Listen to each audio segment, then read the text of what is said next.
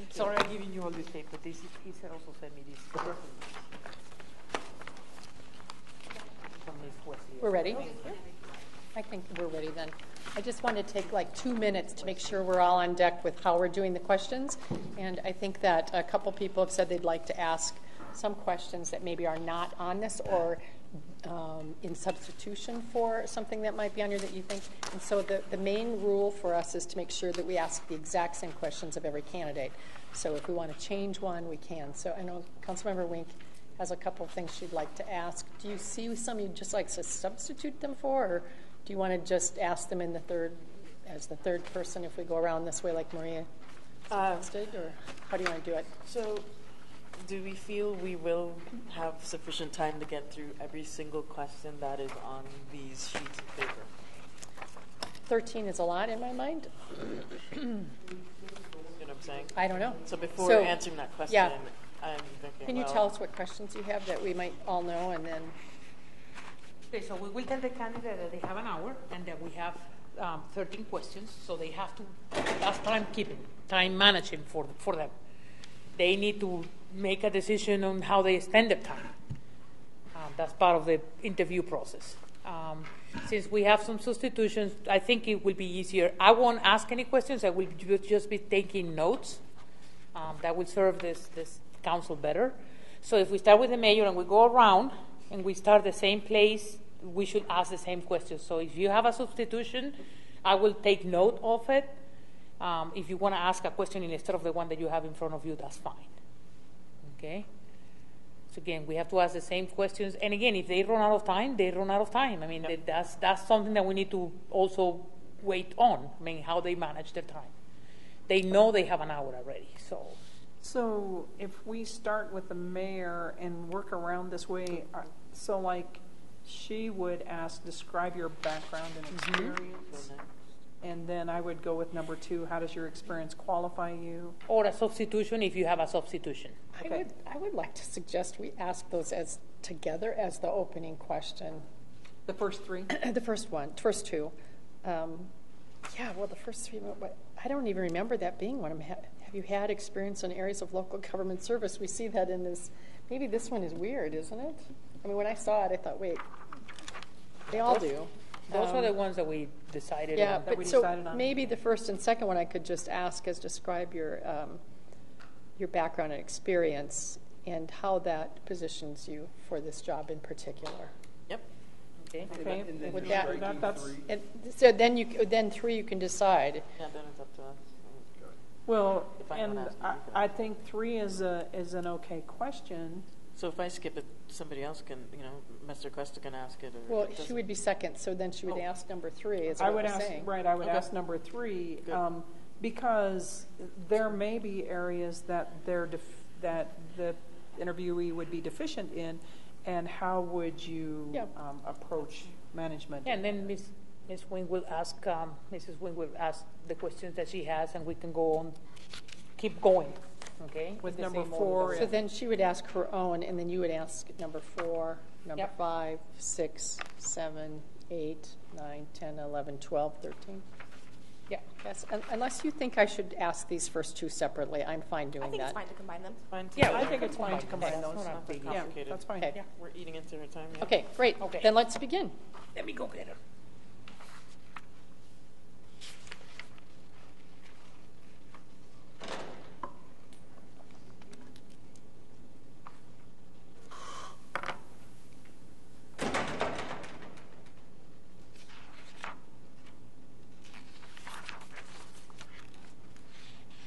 Also going to introduce, have everybody introduce Yes, themselves. let everybody go around. Probably doesn't matter if we say which district. Oh, she got locked out.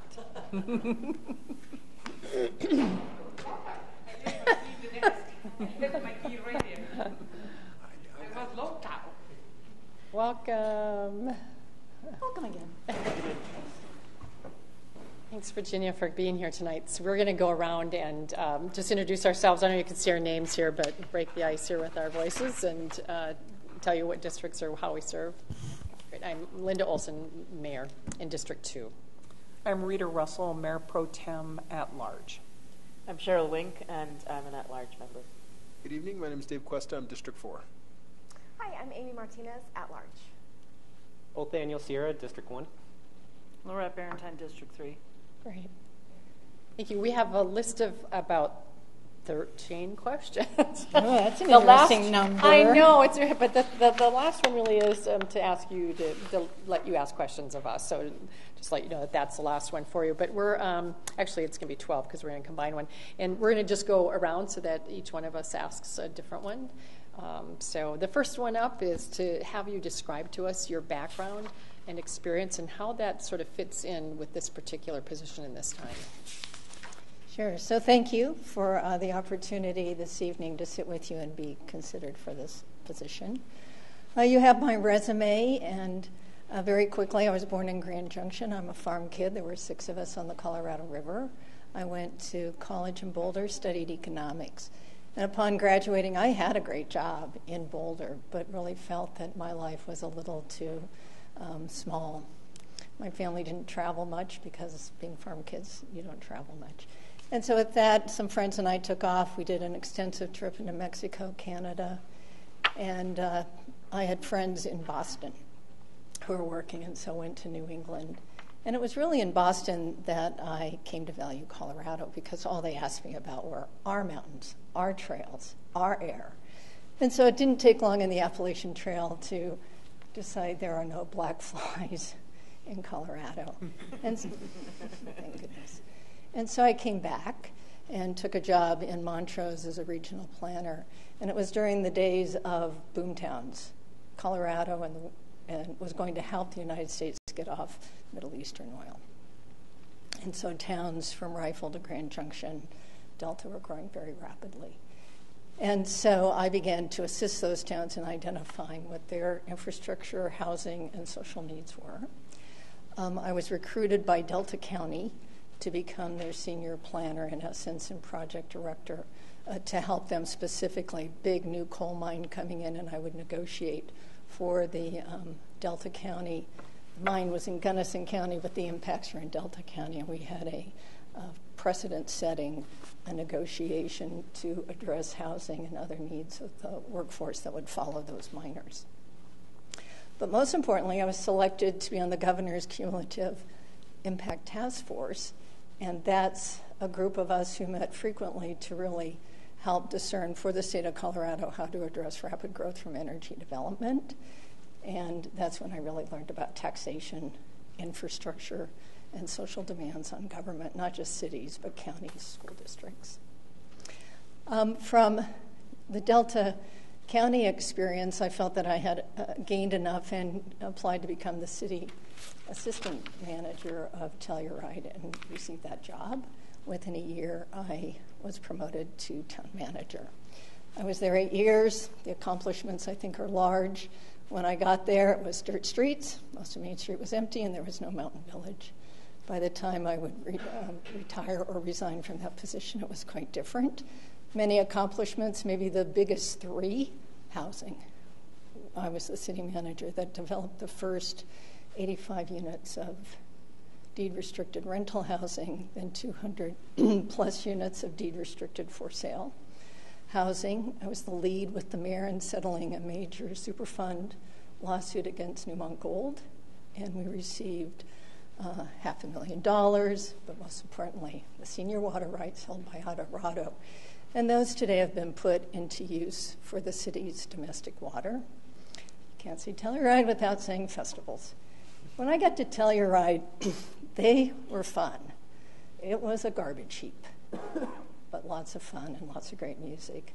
So, in working with the city, uh, we made a lot of changes so that the city could accommodate 10,000 people coming in weekend after weekend and control the garbage, the camping, the parking, and those festivals to this very day sell out. Not just the music, but the film festivals.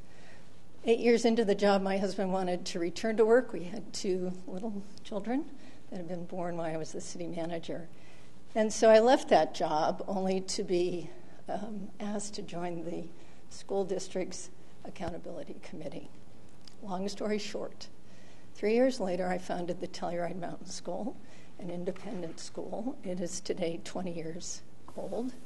It is Montessori through 12th grade. Um, I serve on the advisory committee. It is without doubt the most rewarding thing I've ever done, other than help people get housing.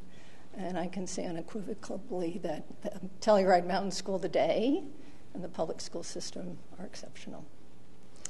Uh, we moved to Sun Valley, Idaho, because we also felt that our kids were living a very insular, privileged life. Now we are mountain people, so we went to another ski resort. But it would be the first time our kids really had to introduce themselves, make friends, skill sets that don't often come in these small communities. And so uh, I would return to Telluride the first year we were in Sun Valley to actually run the Telluride Mountain Film Festival. I had joined the board. There was a large deficit, a lot of acrimony. Staff people didn't like each other, board people didn't like each other, sides were drawn. And so, for one year pro bono, I ran the film festival and proudly left with a surplus and uh, much better um, behaviors and standards and a lot of uh, rebuilding among people and human relationships. Literally. Driving into Sun Valley after doing the film festival, my cell phone rings. It's the mayor of Sun Valley. I've heard something about you being a town manager. I need one. Would you talk to me? So I became the Sun Valley city manager.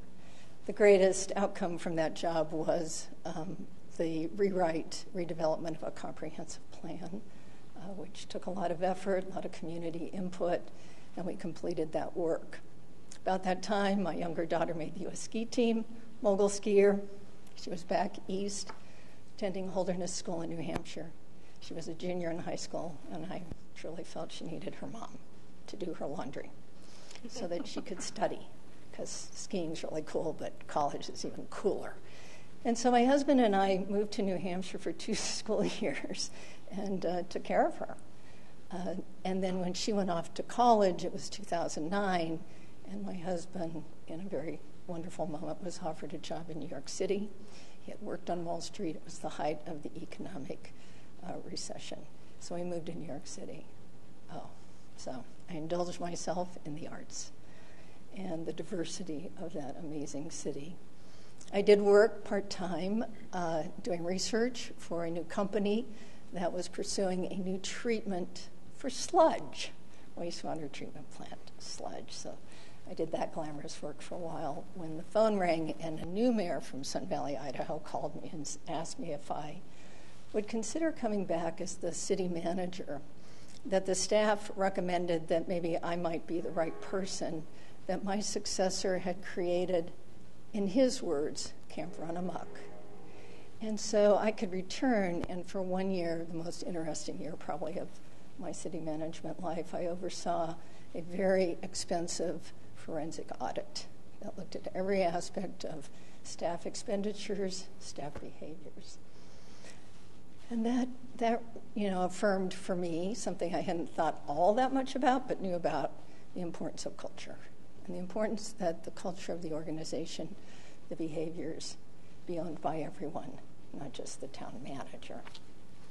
And so, uh, about that time, year into that job, wrapping up that forensic uh, audit, my daughter, who lives in Vail after college, ski patrol called and said, Mom, the Avon job is open. And so, wouldn't it be cool if we all lived in Colorado again? And so uh, I applied for and got that job. Avon, interesting to me, um, driving the I 70 corridor, going to school in Boulder. Uh, when I went for the interview and drove around, all I could think of is how did Avon get so passed by when it sits at the base of Beaver Creek Resort? And so the council, in hiring me, agreed to write their first strategic plan. I have, I think, strong breadth and depth in public financing and governmental uh, taxation and revenues. And so I was able to match the strategic plan with the town's revenues. And so we commenced to do a lot of uh, infrastructure improvements, monies to seed festivals, and all of that was done without any new taxations. Uh, preeminent in that is a brand new police station, but we brought together the fire district and formed a public safety building, and through just a moment of luck, More luck than pluck, but I was able to attract a medical office facility that helped underwrite the land for that uh, new public safety facility, which is now open. Uh, we built a beautiful $3.8 million outdoor stage, streetscape, street improvements, all done with um, cash, but I also had realized we had two bond issues that were ending. And that meant that the sales tax in one bond issue and the property tax in the other could be, I'll use the word, converted to new projects without raising taxes. Uh, maybe the, the greatest gain for Avon, I believe, is a cultural shift in the staff. From what I learned in my time back with the forensic audit, I commenced uh, interviewing all 100 employees the first couple weeks in that job and realized with them, overtly and honestly, that they were siloed, many of them entitled, and many of them hadn't had evaluations, hadn't had raises. There was no vision, direction, no accountability, and I literally none. So, with that, um, we wrote a culture statement, behaviors for everyone, I worked with the council to put in place a high pay, high performance system for the staff, brought in market studies, compensation plans, step plans, 360 reviews, always done. And today, with the leadership team, all staff must receive a high performance review to remain at the town. We absolutely invest in um, corrective actions, in mentoring, and in providing professional development, but uh, I would offer to you, and I think the reference letters you received from some of my staff speak to remarkable change, remarkable change in culture. In May of this year, uh, Town Council was doing my evaluation. The mayor asked if I could wait uh, past the deadline that they needed to meet on my compensation, that I had an excellent review. Only uh, one day later, after the review, to have a call from the town attorney saying the council had decided they, it was time for a change in management. So, as a professional town manager, I certainly appreciate that. And the council must have the manager uh, that they wish to have leading the team and working for them. And uh, I feel very good about the position Avon is left in. They have stellar reserves, an excellent strategic plan, great staff. So, since May, I've been traveling. Um, back recently from Mongolia. I'm a mountaineer, climbed some peaks, been hanging out, doing travel, family reunions. When somebody told me about this job, or I think told Maria, Maria contacted me. So, to the issue of how, how does my background assist? I think what's interesting about small mountain towns, they are sophisticated. They are not provincial. And so much of what we do is the same as Englewood does, from the arts to transit to interest in housing and economic development. So I think what benefits me in sitting uh, here with you tonight is I'm ready to go. I have a strong background in understanding governance and uh, making sure that service delivery is well done I think I also have a good background to work with councils on, and most importantly, but we have to talk about this tonight, is what are your expectations and how to get you ready to hire your next manager and what are the steps in the process to get. Great, thank you. Your pro tem's next. Um, okay, uh, how have you had experience in all areas of local government service? And are there any areas um, that you have not had experience in, and how would you approach the management in those areas? So, as I've shared with you, and I think my resume shows, um, you know, when we think first and foremost about water and sewer, um, I was part of the team that constructed the new sewer plant in Telluride.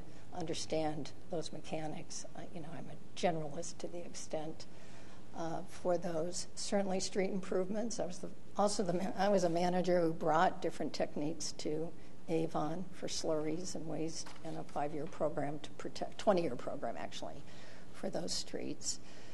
Uh, really strong background in the arts, music in, protect, in particular, um, outdoor performance, indoor performance. uh, budgeting. Uh, in all of the towns I've worked in, they evolved to multi year budgeting, not just for capital fund, but for the general fund. And uh, had I stayed with Avon this year, we went to two years. We really needed to go to three years. And so the value of having three year operational budgets in all the enterprise funds as well as the general operating funds, I think is really important so we can see how the council's decisions affect each year. Sometimes you can't do everything, but you can do many things over many years. Um, I don't have a lot of experience with traffic lights. I noticed that today driving around Englewood. Um, you know, I know quite a bit about rapid transit and moving people. Uh, proud to say, I think Avon's the first mobility department in the state of Colorado. Uh, we merged all of our uh, mobility uh, types into one department, including our parking, so that we could understand that relationship. So I feel really solid in terms of local government experience. All right. Thank you. Virginia, to um, tie into one of the comments you, you just made, uh, you mentioned, and I think you mentioned it also pre- prior to question two's answer, um, speaking about water and sewer knowledge and experience. Um, what, in your opinion, are the core components of infrastructure and environment, and, and how do you approach managing this within a city like Englewood? Just around water and sewer, or infrastructure and environment, so a little step above that bucket. Sure. So it, we see this, uh, or I see it in being in Englewood but throughout, I think, Colorado. And it's a really attractive thing the importance of the environment and how we use the environment and the resources and how the environment serves the health and well being of our populations and is attractive to those who want to come and visit. So that's a, that's a high priority to think about in terms of the city and the vision for the city. Clean air and clean water are just critical elements for the city. I can see in the national survey concerns about water quality. If I understood what the little bit of research I did, your water quality suffers that it's hard water and difficult uh, to treat. But the dependency today on your water supply, I would imagine, is either known, you know, feeling very good about that. Even if extended droughts occur, and reservoirs begin to be tapped more frequently than any of us have maybe experienced. So, assuring that we have water, both indoor and outdoor, and we know that a lot of water is wasted. Uh, and first and foremost, we look to the outdoor water and watering. Uh, in Avon, all of our streetscape uh, went very low water to no water. It's beautiful, and it fits within that, that area uh, wastewater treatment, you're probably part of a large district, um, centralized sewer, uh, making sure that that infrastructure is kept up. And, uh, you know, the whole thing around pipes and leaks and knowing that the infrastructure for water and sewer is very sound and is invested in, I think is critically important. Um, that's what you're kind of wondering about? I, I was looking for however you, you felt the need to interpret and respond to that question. So that's lovely. Thank you very much. Uh, Ms. Egger, can you give me an example of when you initiated a change in process or operations in response to customer feedback? And within that, if you could speak to why did you determine the change was necessary? What was the outcome of that change, and any feedback you received in that change? Sure. So uh, this past winter, we have a free bus service that runs uh, within the town. Uh, that costs the town about four million a year. It's paid for with a lodging tax, and then we interface with the valley service that goes up and down the valley. We do not contribute to that. That's funded with taxes and managed by the county. We had a new a citizen who really rode that free transit, and he, um, I would say, I don't like when it goes this way, but people need to get their message out. He came to the town council, public comment, and just railed about how inefficient our system was to move skiers and he in particular with two little kids up and down the mountain at convenient times throughout the day. And so uh, we, predominantly the new mobility director, got on the bus with him, rode, looked at why some things he thought should be done that were kind of customized to his front door probably were not going to be efficient or cost effective, but he had good ideas. And uh, it was out of his input that we first implemented one strategy, which then he came back and said, I see why this doesn't work, and the skiers are getting upset because we've extended the loop, blah, blah. And so, uh, with that, we were finally able to get the loop service that worked as well for our local riders as well as for our tourists. Very good. Thank you. Let me add all of that being reported to the town council. How did you say it was paid for? It was $4 million? The uh, up and down Lodging tax. right? Lodging Lodging tax. tax, yeah. That's a 4% um, tax. Local. Um, so you touched on this a little bit, but we'll, we'll just ask it again. Um, tell us about a time when you're able to improve the morale of an unmotivated employee or coworker, or when you got your coworkers really excited about something that they weren't really excited about. And tell us about that situation and what actions you took and what was the outcome, and if you received any feedback. Wow. That's a lot. That's a yeah. lot. But just kind of tell us tell us about you know improving motivation. So, our rec director, who, uh, when I first started and interviewed in Avon, the recreation director who'd been there like 20 years, said, Oh, by the way, I'm going to resign. Oh, okay. Uh, and she did soon after I started. So, the assistant rec director, lovely person, seemed competent, uh, was not pleased to learn that I was going to do a job search. He uh, was recommended to be appointed to the director's job. But I feel really strongly and practice all the time, happened with the police chief too, uh, that a search is really important. You need to validate you're the best. And I think the internal candidates rise up. They have to rethink, they have to prepare for an interview uh, to, if I may, win that job. And he did. But it took about a year. And he was very, very, uh, I would say, concerned about my leadership and high standards for performance. And so, what was cool is that under our uh, culture statement, you have to have courage. It's one of our things. He came to me and said, I need to talk to you. And so I sat with him and mentored him. And one of the things that we could see, and we still see, is the need to expand that rec center.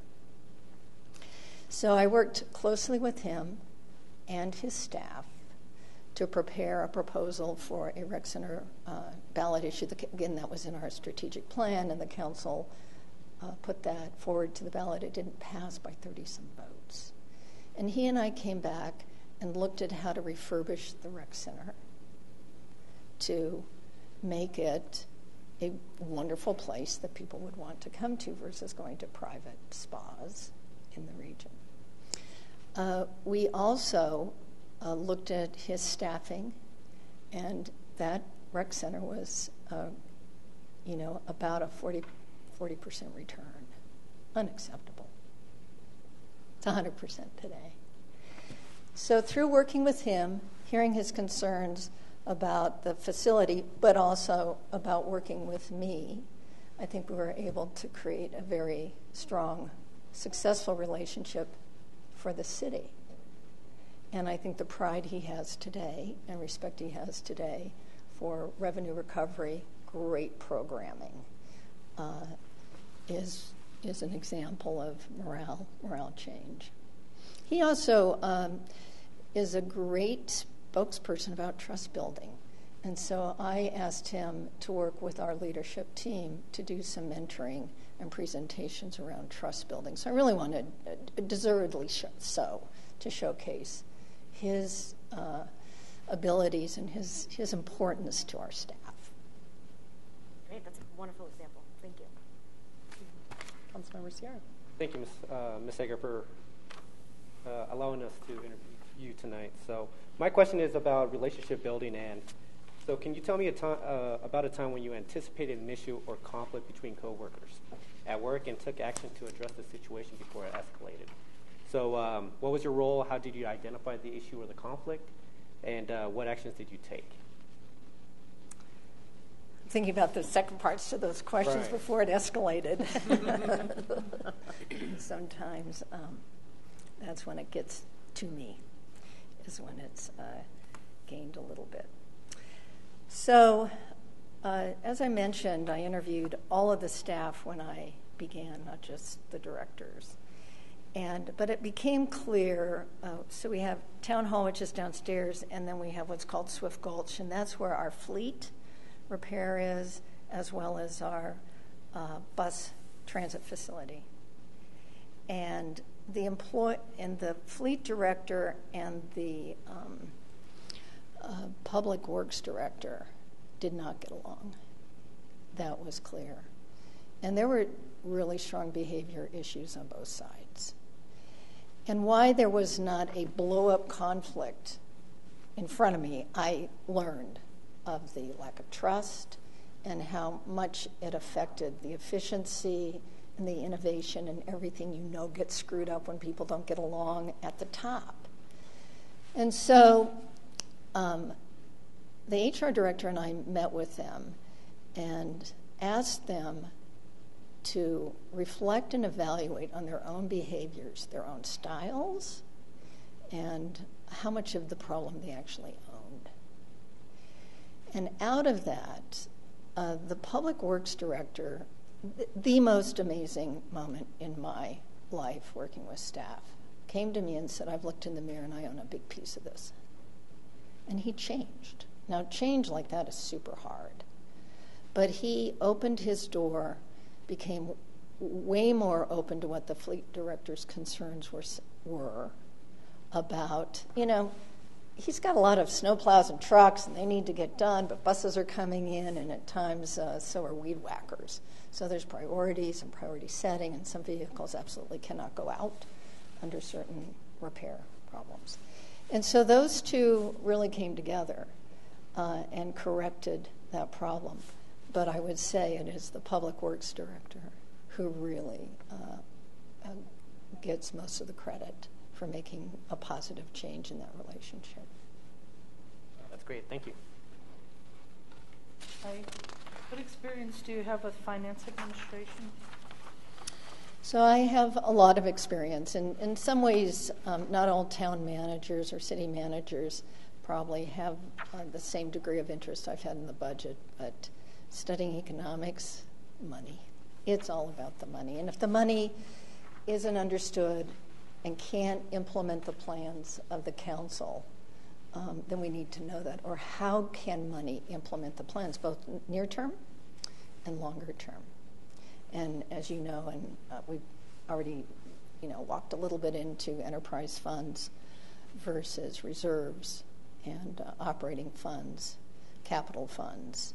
Uh, I, I know a lot about those. I know how to read a bond prospectus, and that's how I came to realize that um, reading the annual audit, I still remember, I'm like, oh, what a lucky girl. We have two bond issues ending, just knowing that that created opportunity for Avon. Uh, in the day, uh, it was all Excel spreadsheets. And so, as budgets would come in, we have our strategic plan, we have direction, we meet as staff to talk about our uh, promises, I'll say, or our agreements among us in terms of staffing or other needs and wants, computers, uh, IT, et cetera. So everybody has worked together before they start putting numbers in. Uh, and so they, pre- they prepare the budget as directors. Then it comes to me. I meet one on one with them. Those are pretty rigorous. Uh, at times, you know, they just have to defend some of the increases. Again, they're multi year. I don't see people asking for things that aren't really warranted. Sometimes they're a little shinier than maybe are needed or a little sooner. Uh, but I am able to sit and uh, discern immediately uh, changes in uh, percents of budget, but most importantly, how money gets gets the work done that the uh, council wants to get done. Um, it's really val- it's really important to me to understand and take an active role in the development of the budget. Now, under a charter, the, count- the city manager always prepares the budget, but as we know, the finance department is really important. Thank you. Thank you. Um, so we, we do have a comprehensive plan that we just finished a bit ago, but um, there's always planning going on. So how do you approach the planning process, and what do you do to set objectives, keep track of them, and prioritize?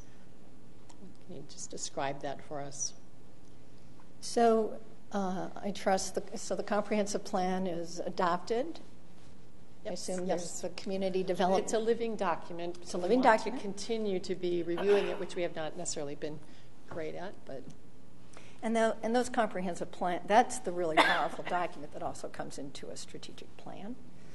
Uh, so working with the community development department or just with developers, I, I did not mention, uh, I think it's in my resume, when I left the town of Telluride, my husband went back to work full time. We were partners in a major piece of property across from the Telluride ski area. Uh, it was about, I want to say, about 350 acres. And it was so interesting to sit on the other side of the table now as someone being regulated at we wanted that property developed uh, versus being the regulator and so what became really in, so clear to me is the importance of a great working relationship with developers and time and wasteful documents that planning departments may ask for. I mean, there are things that must be provided. But I also saw in my own experience the, um, the, the uneven handedness of a planner, of a commission. And when I got to Avon, that was in spades. Oh, the planner said next to me one night, as we are leaving, oh, too bad. I came in five minutes late. Guess I'll have to wait another four weeks to get on the agenda. Endearing myself to the planner, I said, ah, I don't think so. I think you'll probably take the 10 minutes to get it on the agenda in two weeks. I just, you know, that was just unacceptable power review. Uh, and so things changed a lot to partnership. You know, we all believe in smart growth in really good development, and that bad projects are proposed, and there are great projects that are proposed. So it's really important to have everyone, including the council, I think, and you're not expected to read all these documents, but front and center, what is that comp plan saying, and what are the priorities uh, to be accomplished as you look at budget uh, implementation also, and training for the staff, and meetings, I think, with the development community at least annually to allow them to come in to critique how our planning department is working. Um, I would expect, and I assume you get from the planning department regular reports on building permits and activity and valuations. Um, I did see it looked like you had some interesting studies being done uh, for the good of Englewood.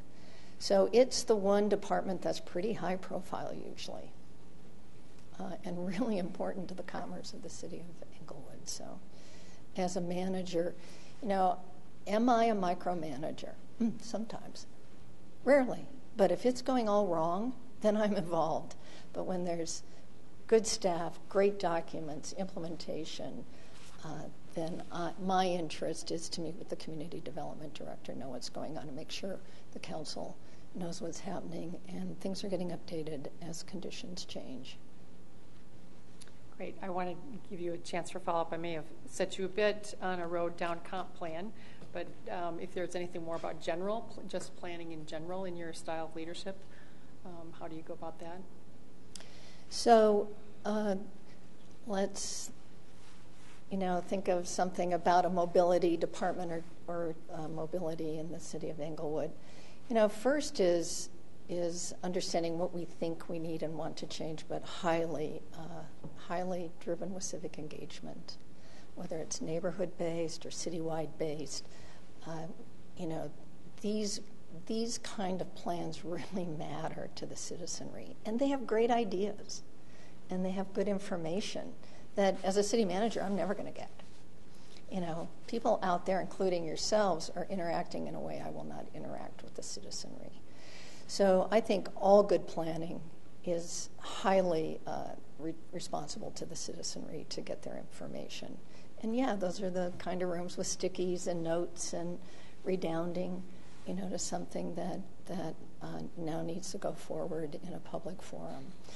Um, planning is so important to a city's success and needs to be dynamic um, and pretty. I noticed some of your documents are so beautiful, nicely done. I like the graphics. Okay, they don't have to be pretty. Thank you. Um, how do you view the relationship between the administrator and the governing body? And how do you view your relationship with department heads and local government staff? So, uh, city manager's right in the middle, right? Uh, most important is the relationship with you. I am one of your few employees, and your your vision, your policies, I need to work with are really well articulated. I need to work closely with each and every one of you. If, if I was offered or received this job, I need to meet one on one. Why did you run for office?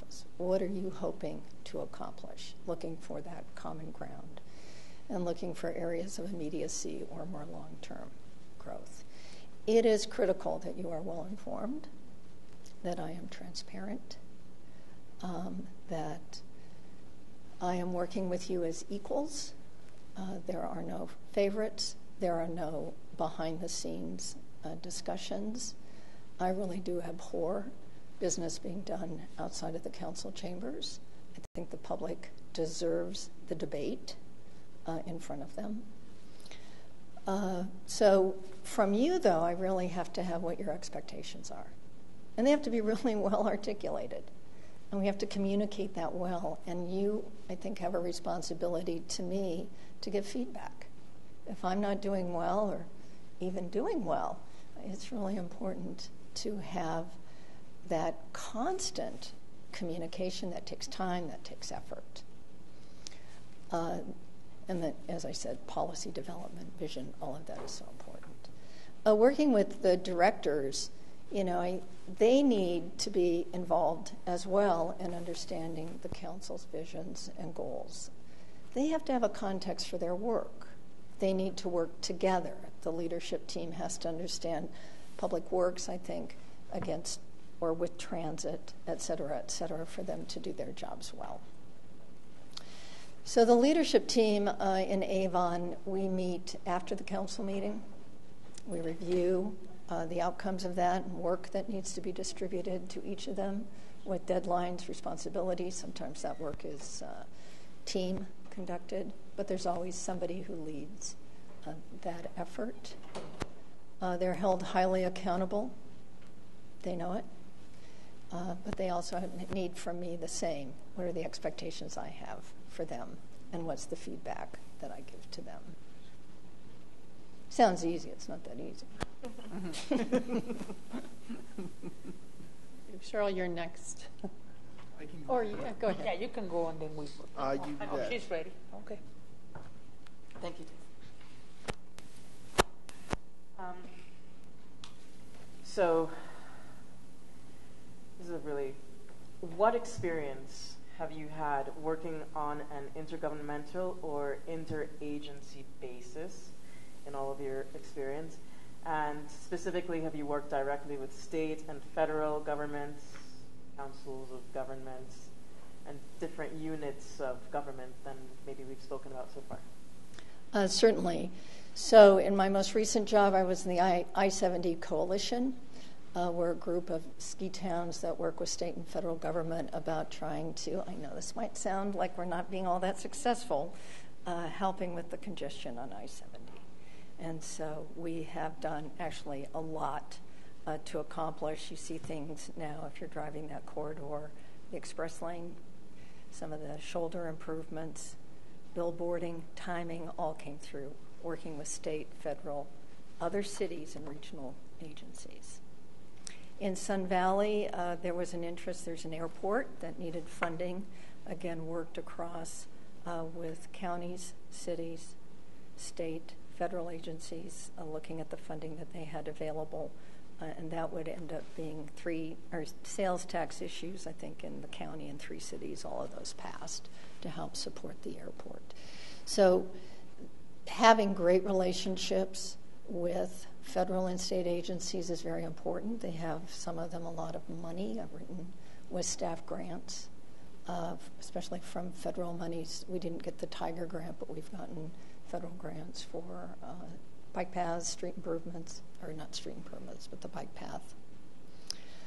Um,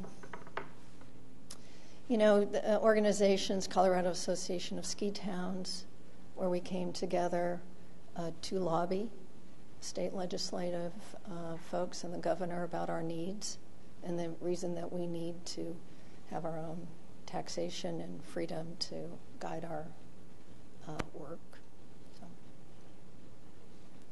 Councilmember Cuesta, could you jump back to 10? You bet. Thanks. To what extent do you believe contact with citizens and citizen groups is important, and how do you typically handle this responsibility? Really important, can be handled, and should be in, uh, in a multitude of different ways. Um, I see on your website uh, that you do have, if I understood it correctly, that people can uh, notice potholes or other service needs through their app. How cool is that?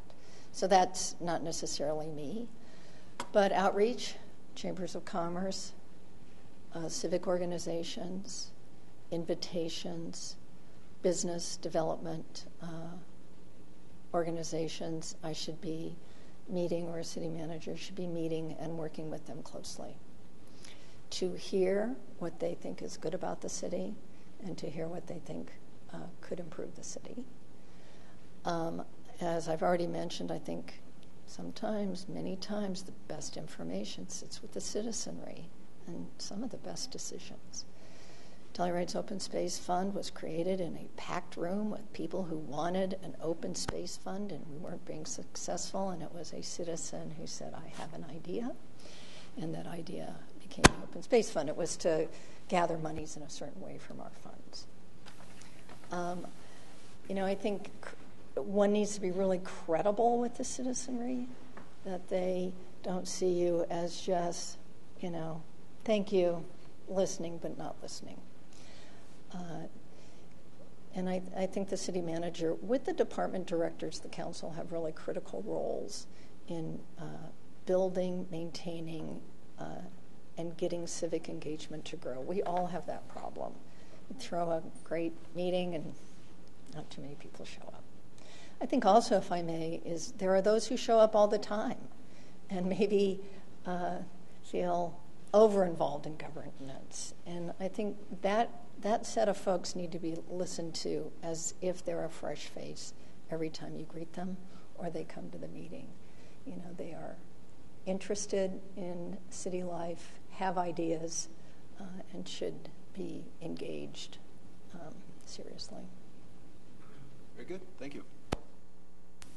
Okay, uh, what will your first steps be upon assuming responsibility for this position? And what could we do to make sure you're successful in your first three months? So the first step has to be what are your expectations for this job? That, that would be before you would offer, or in, if you were offering me the job. So the first step uh, is again meeting, I think, with each of you individually so I get to know you, understand why you ran for council where you're at, what your expectations are, what you'd like to see accomplished. Uh, you know, jump into, I think, systems as they are. I'm not here to change those systems. I'm here to listen, learn, and help facilitate. This is an interim position. This is, uh, would be my guess. There may be something you definitely want done in the next six months. Uh, so I need to know what that is. Otherwise, I think it's first and foremost, again, the council, what you, what you want, what you don't want, and then the leadership team. You know, I'd like to, uh, of course, hear from them in an equal, shared way. What are their needs over the next six months? There are some things they can't approve that town managers, city managers can only approve, and making sure that things are working for them in an efficient, streamlined, thoughtful way and also I think helping them with you. I think this is uh, a little repetitive on my part, but how are you preparing for the next city manager? And what is your hope for the city at the time that that manager uh, takes the position. I could also see uh, asking the directors if they're comfortable to meet at a department head meeting with their staff. It's really cool when you know people's names and where their kids go to school, and um, that's easily done. I mean, you can meet hundreds of people and know them and know something about them that helps uh, me in my job. Oh, now the fun question. So, what questions do you have for us? Uh, so you're all seated. Uh, next election is November of 2019. So that seems like a nice long period of time to uh, look at accomplishing some things. But where are you in uh, your thinking about what are the expectations for the interim manager? Question. Did you want to begin or? Yeah, I think any of us can chime in. So I guess from my point of view, obviously, um, with the interim position, we, you know, obviously what's foremost on my mind is just the budget.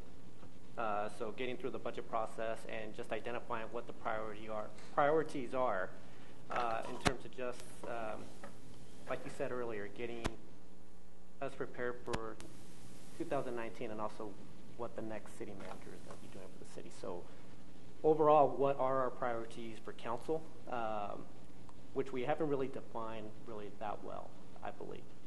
Um, you know, there's a lot of process improvements that I think are needed. Um, and so I think that that would be something that I would like for the interim to look at as well. Give us ideas about how we can be improving as a city. Great. Anyone else? I would concur with um, Councilmember Sierra and add that, um, you know, just like you said earlier, to jump right in and kind of meet everybody and kind of keep helping steer the ship in the right direction. And um, I think also helping us prepare for what we do want to look for in our permanent city manager and what we should be, the questions we should be thinking about in preparation for that. Uh, I, I think that there's you know many components, and we could spend a lot of time discussing those. One of the ones for me though is a steady hand. Uh, we just had our staff undergo a transition out of a manager that they worked under for a long time, and I think that he was well respected. Uh, we'll be bringing on an interim manager and then switching to another manager potentially in short order. And so just keeping um, things level, making sure things are proceeding as they should. If there's areas of improvement or things that we can um, a focus on and, and, get better at, as, as Councilmember Sierra alluded to. Those are always great to pick up along the way. But really, I'm looking for pretty calm waters as we go through the next, call it six, eight months. Sense. Thank you.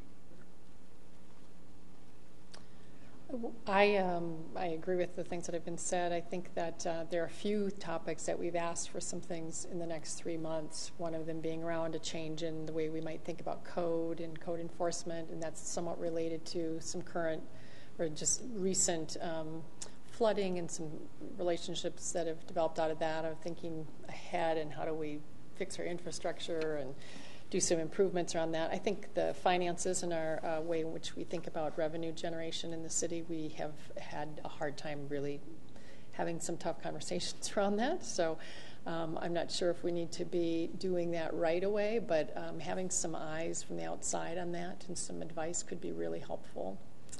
Uh, and I think there, there are other things like that. Um, I think for the most part, though, I think most probably, at least in my perspective, I would agree with Member Cuesta that uh, we'd like some stability, some fresh eyes on some things, but to keep us moving on our strategic plan and some of the strategic um, objectives that we've had as council. We did have a retreat in, was it April, March, March maybe, and, and May, May eighth, March eighth.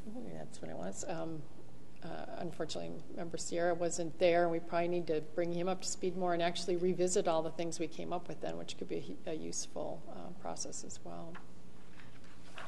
I would agree. It's probably some stability. We came off of the last one wasn't long term compared to the one before. That was 17 years. So four years for the last city manager is a very short period of time. While that may be the average lifespan, uh, you know, total, it isn't usually for the city. And with that, you also had um, the transition of a lot of uh, 20 and 30 year employees. So it's been a lot, probably and just in the director positions in the last four years as well, at least 20 people, three, three and four uh, different directors within that four-year period for all of our major ones have, have changed over. And so there's been a lot of um, um, combining of departments and kind of a changing kind of philosophy to it. But I think it, when you had that kind of stability and then have that without the uh, tenure of it following through past four years, it, it, can create a lot of chaos. And so just having some stability, reestablishing relationships and where the how we represent and where we're going. And of course, you know, when you mentioned um, helping guide a little bit to where we see where this council representing the community sees moving forward and, and what the future brings. How do you think you're perceived by the staff?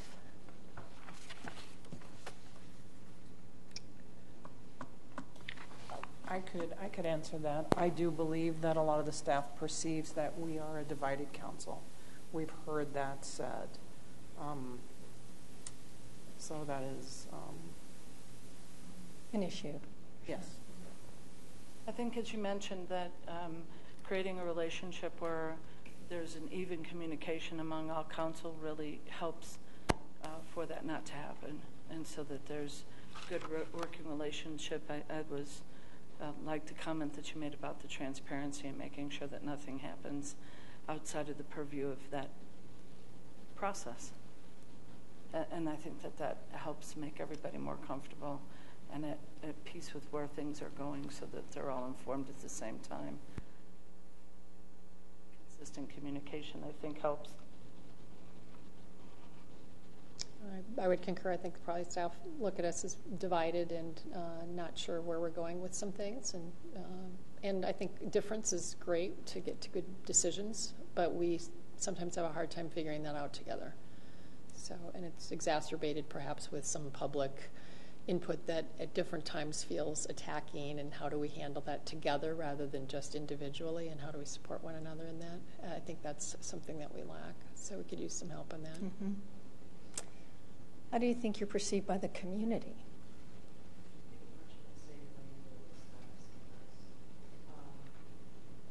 At least having recently joined council and recently campaigning across the entire city, that's certainly something I heard much of the time and, and still hear from a large group of, of citizens. Um,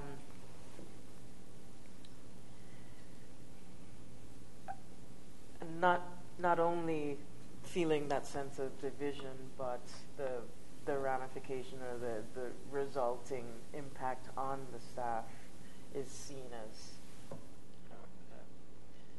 an opportunity greatly missed. I think another thing that the citizenry has come forward probably in the last um, couple of months is they feel like council does not listen to them eh, as a whole, that we do not respond to what they want. Um, and may, may I ask, is that for matters on the agenda or things that they think um, should be different? Um, that would, aren't that aren't before the council. Um, probably not necessarily things on the agenda, but um, things that they would like different. Um, say, for instance, the development in the city. Uh, there are districts in the city that have um, their smaller houses, and developers have bought the property next door, and there's triplexes going in. Could see that today. Yes, and and the people that own houses in those neighborhoods are very upset, and when they come to council, they feel like council is not listening um, to what they're saying. Do you think the council would be interested? I, I tend to have to agree. A steady hand stability is really important. Uh, but as we talk about the future and the next uh, city manager, it, do you think the council is willing to begin to do the hard work of trying to address the divisiveness, to address the uh, the perceptions, uh, which may be our reality. I don't know. Uh, during the next period of time, including if that required some outside um, assistance? I think we have to. We have used outside assistance before. It was a different council, of course, but we haven't with this particular council. But I, I think it's incumbent upon us to. Uh, we're talking about six months possibly till the next manager. We cannot fritter away our time and energy and be drained emotionally and and still serve well. So I'm willing. I'm ready. I think we need to find a process for it. With that being said, almost a majority of this council is different than it was a year, six mm-hmm. months ago. There's three new people. we have- yeah, So it's not, people. it's not even the same council. And then maybe coming to some determinations on, on, on what, what really divisiveness is and whether agreement is offensive or whether, you know, a disagreement is offensive or whether we can manage to do things in a way where there's a robust conversation without people walking away from the table because they didn't get what they wanted. I mean, the, the citizens have brought things forward, both that they're concerned about and um, that were on the agendas. And I believe pushing, pushing it down or putting your head in the sand didn't, didn't work. All it did was make them regular attendees of the council meetings and it not being addressed. And so not only did this council get some feedback from that, but also the city manager um, uh, took that as well, that if there was a perception that there wasn't, uh, it wasn't being addressed, that the issues weren't being addressed. And all that does is make them come every council meeting until they believe they're going to get heard. You asked a good question about on the agenda or not. Um, I think that's where we have some struggles. We have lots of things on the agenda that we hear nothing about, and then lots of things that people are upset about that are not on the agenda and don't end up on the agenda because they're not whatever is currently being dealt with. So there's a disconnect that needs to be reconsidered in how we handle it. Sometimes I think it's a case of middle grounds as well. Uh, there's some people who say they want it done this way, council, and you can find people in the audience who want it done the other way as well. So sometimes it's not personal disagreement; it's more philosophical, and, and how do we get to that point where we can move forward? So um, I think it is not just hearing one voice, but hearing every voice and kind of finding that point of compromise where really we can always get to some solution that can hopefully find some satisfaction with everybody in the crowd, and that's sometimes easier said than done, to be sure. But um, I I think that we have a council that's looking to cooperate with each other. Again, I don't think there's any personal animus amongst the group. I think it is sometimes more philosophy and just getting to that end result where everybody can find something of a win for the folks that they're hoping to represent. I think you have a great opportunity before you. I mean, I am a positive person. This is hard work. These are hard jobs. Um, but it sounds like there's a special moment if council's willing to lean in and look together to find a path to become the leadership team that you really want to be. Um, but it, it would require commitment and time, but that could be pretty cool, I think, um, to work on. Um, I assume, last question, the budget's in pretty good order. I wouldn't be walking into, I had that once, a big deficit, and, a, and nobody's out there to say to me, you need to terminate person X. There are no, no problems like that. That you're, I would, I would say correct, uh, but we may have some disagreements on council about that as well. So There's been a lot of conversation about a fiscal cliff that's ever moving forward, so I'm not sure how much of that is to. Um, there's been some uh, belief that maybe that's just to spur some conversation and maybe doing some additional revenue streams and getting that conversation out into the community. new revenue streams, I'm sorry. Additional taxes. New and new types. Right, um, in order to um, fix that fiscal cliff. But the fiscal cliff keeps putting itself out there, and the community continues to give us additional funding.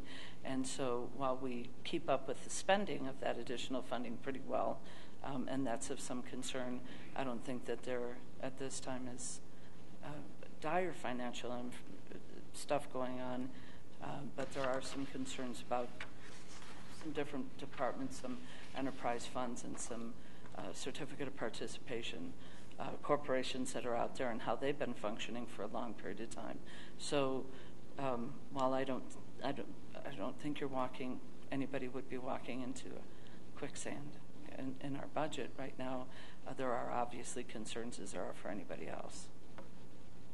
And having said that, I don't think the group is looking to tax their way out of it. Uh, there's many different additional revenue streams they can bring in, and I think that that's what the group is looking towards: is things that are more enterprise-driven um, and, opposed, and business-oriented, as opposed to um, raising revenues through taxes.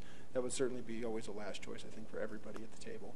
Um, so there's a lot we can do, and something that I think everybody's collectively agreed we need to explore. That uh, retreat that the mayor mentioned, we did a lot of um, spitballing there, and I think even had some great ideas that we can even take a little further. So uh, there's things on the table. We really just need to move forward on them.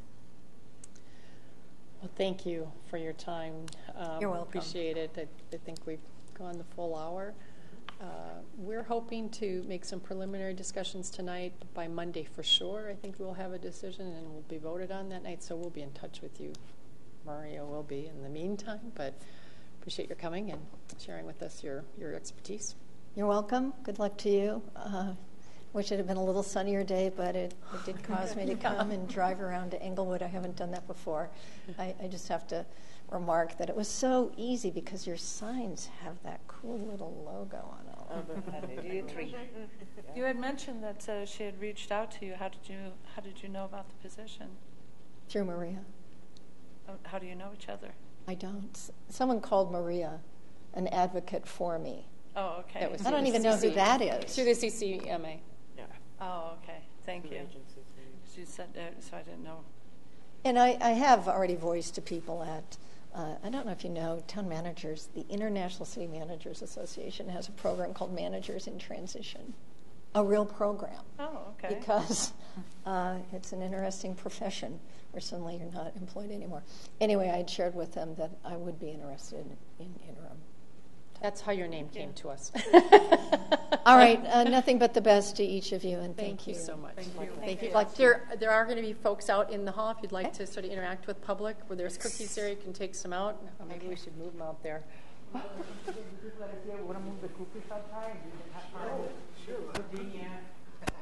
Okay, now there's going to be people. Can we take a? Should we take a quick break? Anybody? Five minutes, real quick. Sounds good.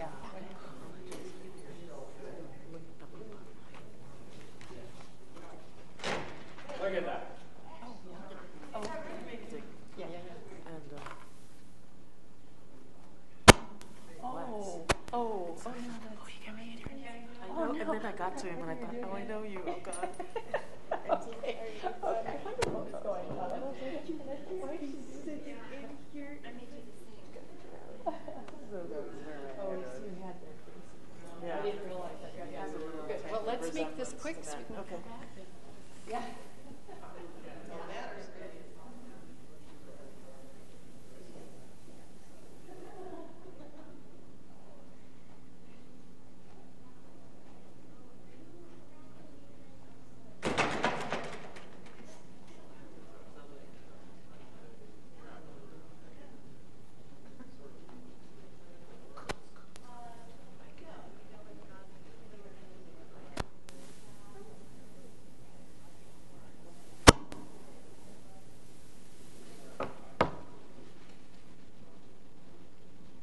Oh, I got you. But I think it might have something to do with the interim and we were going to Sure. do this again. Sure.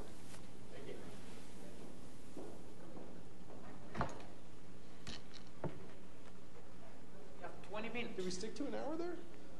Yes. Very good. It was exactly on the Oh, no dot. kidding. Yeah. I write the time that we start, so I, I see. And the next one starts at seven thirty. Yes. We got. we have 20 minutes. So I can order some food from Tokyo Joe's and pick it up real quick. Yeah. I assume just hoof it over there. Yeah. Is that your favorite spot to eat around here? Or the locals It's- eat around here? No, I just actually that's my Monday night usually. I just pick it up because I I can order it on my app here and pick it up Sure. during break and bring it right back in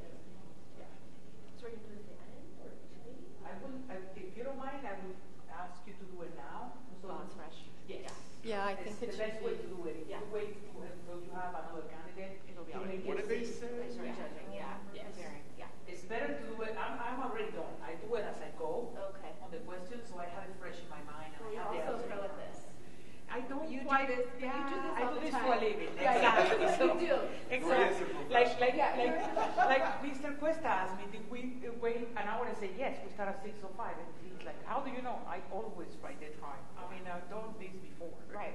A lot. That's how I do. Totally. so I do write, you know, I try to write everything. Yeah.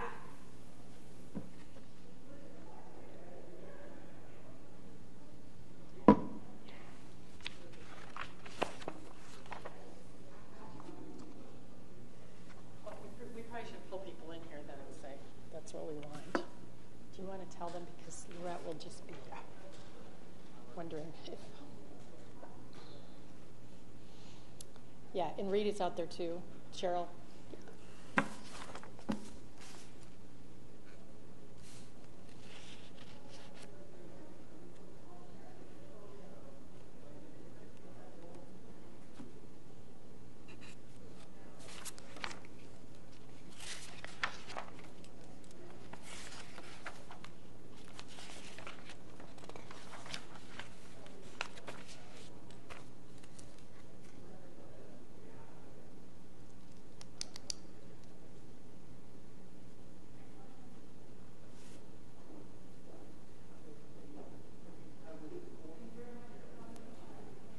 They're good.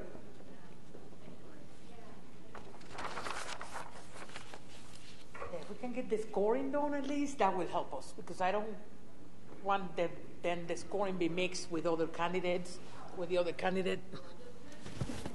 So Linda, I want to know if you could sleep last night when you got home. Oh, it was terrible. It was terrible. I had to take some melatonin. I can't believe I did that. I just, Would you have caffeine? I had a, She had tea, I green had tea. green tea, which I just responded Oh, that's why you said that to me? I'm like, what? Yeah, I, I, co- I almost could have a cup of coffee at night and do better than if I had green tea. I don't know what it is, but yeah, I So on just, the, on the scoring sheet, you have examples of what we were looking for on each one of the areas.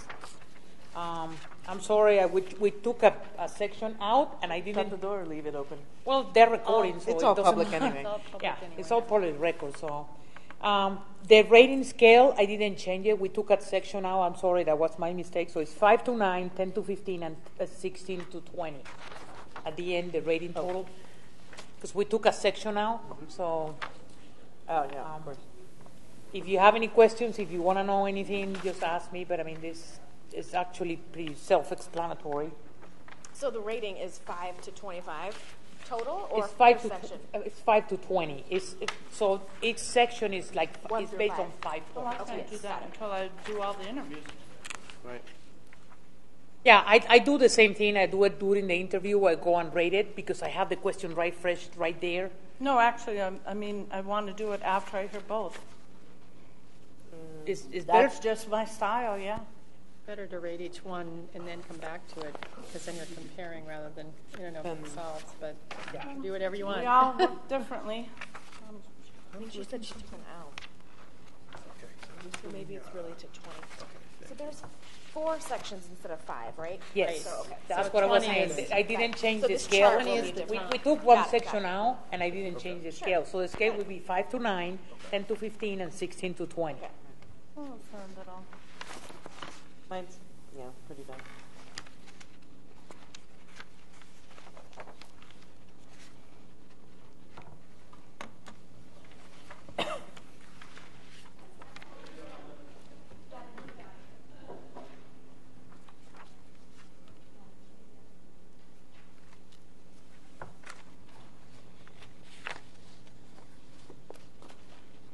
And just to clarify, um, I don't know Virginia at all. I, I, I got her name through ICMA. Right. That's what we said you were doing. yeah, Yeah, I didn't think. it- exactly. So yeah, You got the names, That's and then you called them and I invited got the them. names from them, and then I contact them to get their paperwork and stuff. So I just wanted to clarify that. I think she clarified it pretty well. Okay.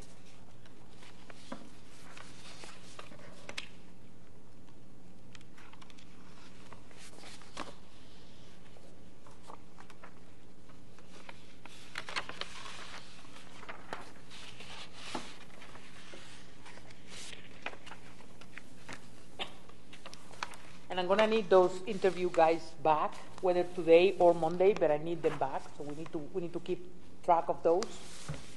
Which ones?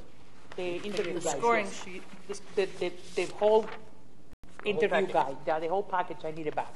You can keep the copies of the recommendation letters, but we need the interview package back. Tonight or Monday. I would prefer to have them tonight, but, mm-hmm. I mean, we can, ha- we can do it on Monday night if you prefer that. I- I would prefer, again, we need to keep records of the interview guides. I'm glad to give it to you tonight. Me too. I can give you mine tonight. I'll put them in the envelope. I'm keeping for Monday night. We're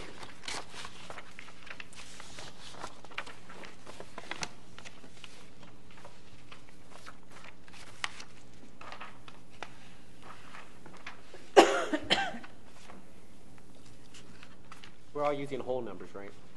I'm not gonna say Oh, you can use 0.5 or point anything like five, that you can, yeah, I did whichever 0.5, you so I prefer. hope that's okay. It's a continuum, so it- it's, yeah, it, That just don't do point two. Point two's Yeah. okay. I was Point Wow. two five. point- people will go to like three decimals, and I think that's way too much. long as but- you can I, head it up. I, we'll I pack don't think that we're, we're doing um, a, a score down on who is, is, and then they just pick Right, right, right, right. On who gets the highest score. I think he was joking. No, it'll be both. So if you want to push somebody over the edge by the point two, Okay. I suppose you could Let me think try. about it a little bit more. figure it out. You're free. You're Right. free with your little numbers. That's a, what, it's what it means to you. Hey, you can count on me. I have a, a popsicle upstairs if you want it. I can go get it too. Will you um, give these back to us Monday night when we're having Yes. I can so bring them back. can remember Yeah. some of the things No, no, no, I we can bring wrote. them back. Yeah, that's not a problem. My memory is.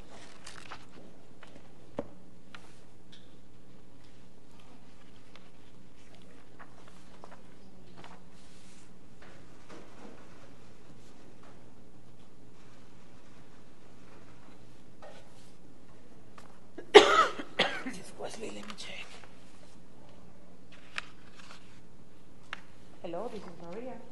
Good notes? Oh, good notes and good cookies, huh? Yes, thank you very much. Like the white macadamia. My favorite. Yeah. Mine too.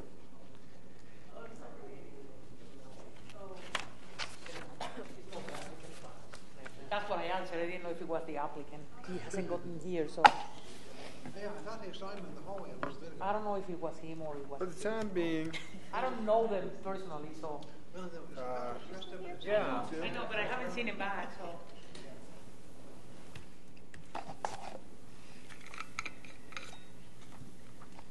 Yeah, they have my cell phone. I told them to call me if they get lost. So. Okay.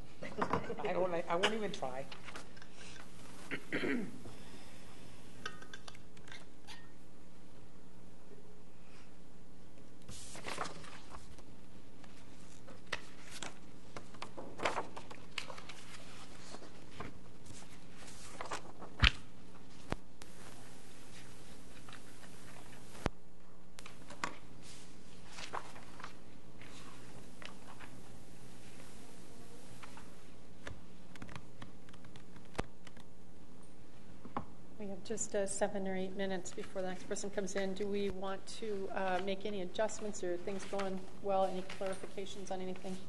I think it's going okay, and then we're going to discuss Monday, right? I- I think I'd- if we, tonight. if we can talk a bit tonight while it's fresh, I think that would be good. But we did today set aside study session next on Monday. Then we would then, if we make a decision that we want to hire one of these two, we would bring it up and uh, uh, vote on it in the regular meeting that night.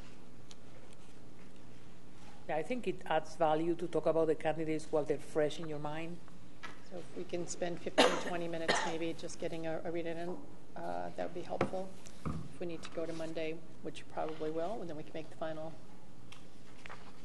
decision or discussion then. But let's see how it goes. As Amy says, I do, I do this for a living, so to me it's second nature. Yeah. Not all of us do this all the time.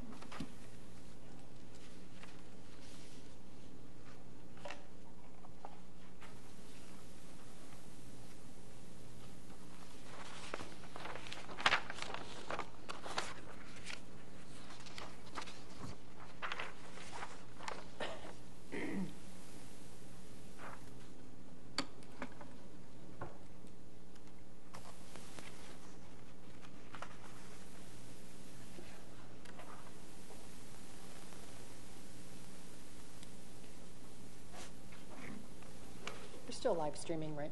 Yeah. What are we doing? Hmm? What are we doing right now? Everybody's just scoring, and then five minutes, they'll come in. Do you want to talk about it, candidate? No? What are you? We're live streaming, that's what she said. I asked if we're live streaming. I what Oh, are we doing? what are we doing right now? Just scoring our sheets. Those four scoring? Can we start the other interview if they're there? We sure could. Is there any? Are there, is anybody talking to him out there? Oh. No. No.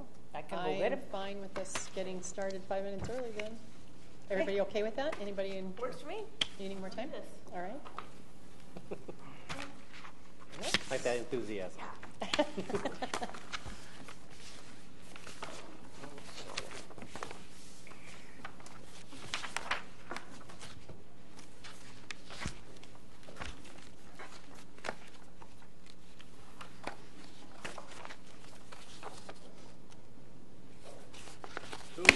Good evening. Hot seat, huh? All right.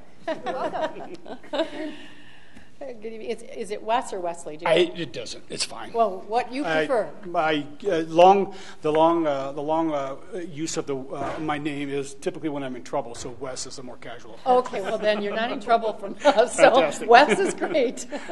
Wes, we're going to go around and introduce ourselves. I'm Linda Olson, Mayor and represent District Two. I'm Rita Russell, Mayor Pro Tem. I'm an at-large. I'm Cheryl Wink, and I'm an at-large member. Cheryl. Wes? Cheryl. Oh, okay. Correct. Oh, there it is. I just want to make sure to hear Cheryl Lynn. So, thank you. My name is Dave Cuesta. I'm at District 4. I'm Amy Martinez, and I'm a council member at large. Othoniel Sierra, and I'm District 1. Laurett Laurett Barrentine, District 3. You as well, ma'am. Thank, thanks for coming and joining us tonight so we can move on to this next stage for the city. We have about 12 questions or so that we're going to ask. The one last one being, do you have questions for us? Sure. And we're going to rotate through them. Um, hopefully, we'll have a good amount of time to cover them all in the hour and still allow for you within that to have some questions. So Thank you. I'm going to start out with a question of describe your background and experience and what you think um, that experience does in terms of qualifying for this position at this point in time in your life. Sure.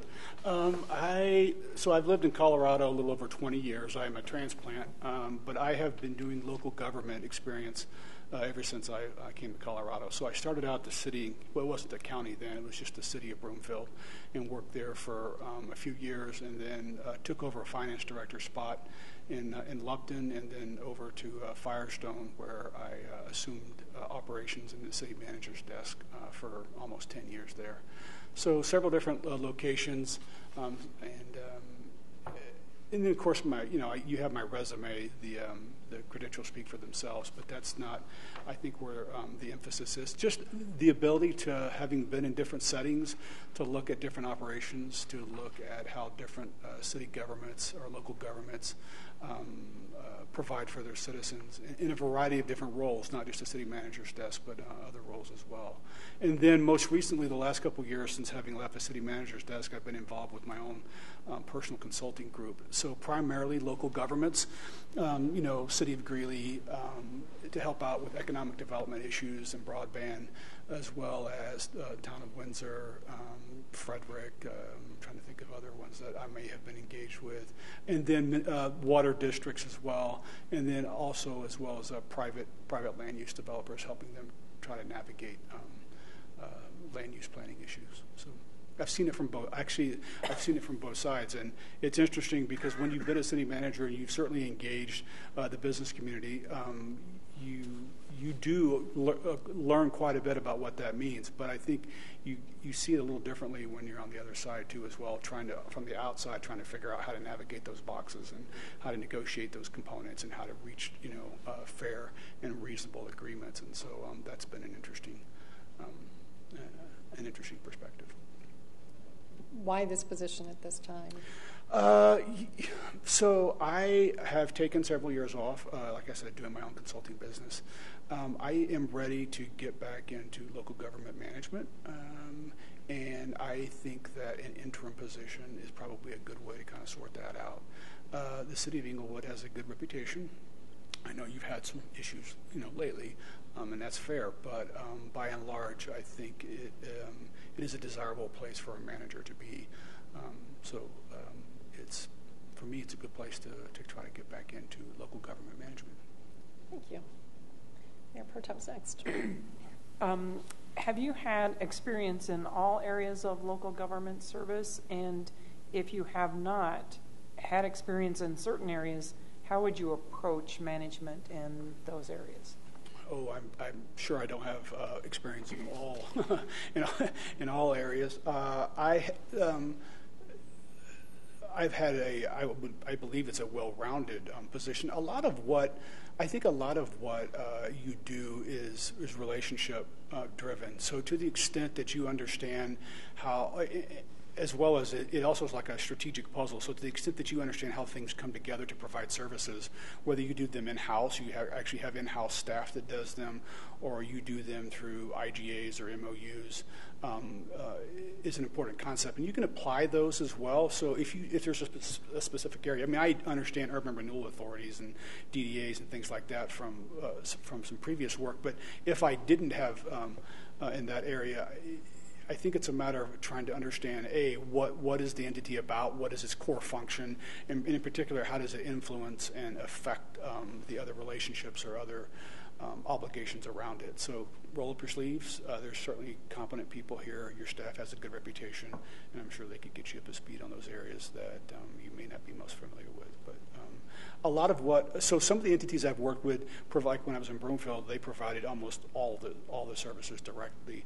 Other entities I've worked through have done those through contractual um, basis, whether they be you know, uh, IGAs uh, or uh, special districts for rec or fire or water or sewer, those kinds of things.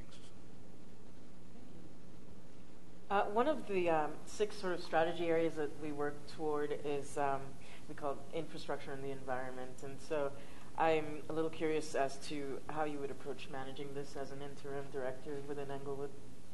For the infrastructure and the environment?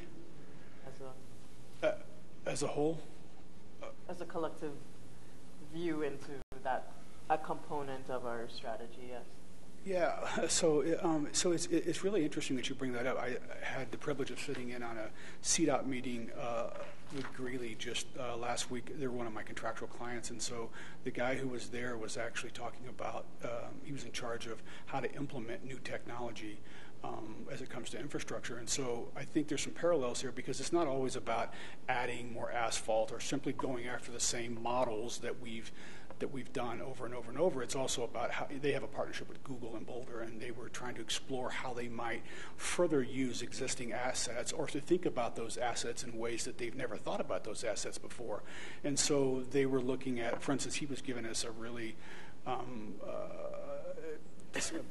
a briefing kind of on this whole idea of what they're going to do with coupling, uh, probably starting next year, where they get these um, uh, giant tractor trailers, and they actually have them six inches apart, and they stretch on for just multiple, multiple. Tra- but the whole idea is how do we take this window from about 1 a.m. to about 4 a.m. and how do we use this existing asset, but use it in a way we've never thought about, and how do we integrate technology in that way to do that, and, and what that's going to then do for the capacity from for the rest of the day for all the the, the regular commuters and, and transit. So I think it's the same kind of thing. I think uh, as we look at our environment, we have to think about stewardship uh, fundamentally. It doesn't get any more complicated um, or than how, do, how are we stewards? Like, how, how, what are we going to do? Um, and we're entrusted with this, so how do we integrate that in, in a way that's, um, that's proactive and works for the community? Because it has to meet needs. It can't go off in tangents where we're not meeting citizens' needs, but it, it can also be responsible. I don't think they're mutually exclusive, so I think it's how we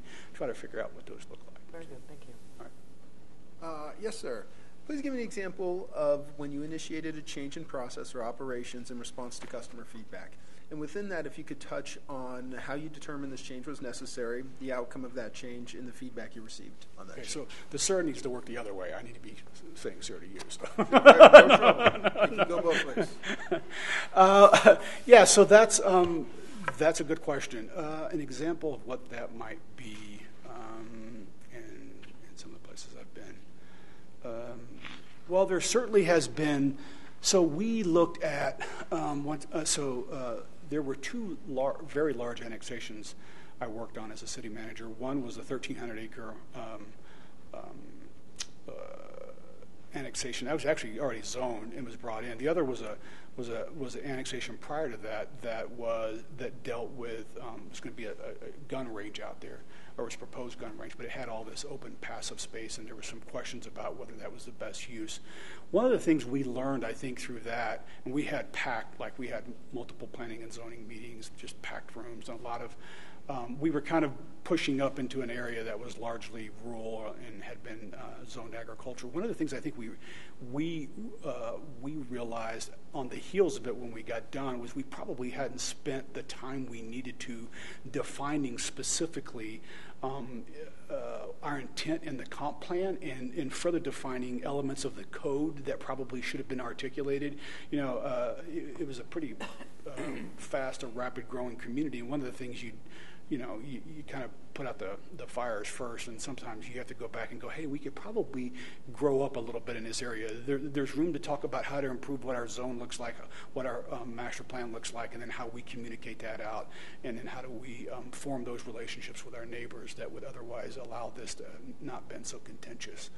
Um, so after several rather heated public and uh, our planning commission meetings and then actually board board meetings. Um, I think we learned, and we actually used a lot of that when we went to do the larger annexation some four or five years later, is, is to kind of think a little more critically about what that looks like and, and how it could be a benefit um, to the community as opposed to just a, a launch and grab kind of effort.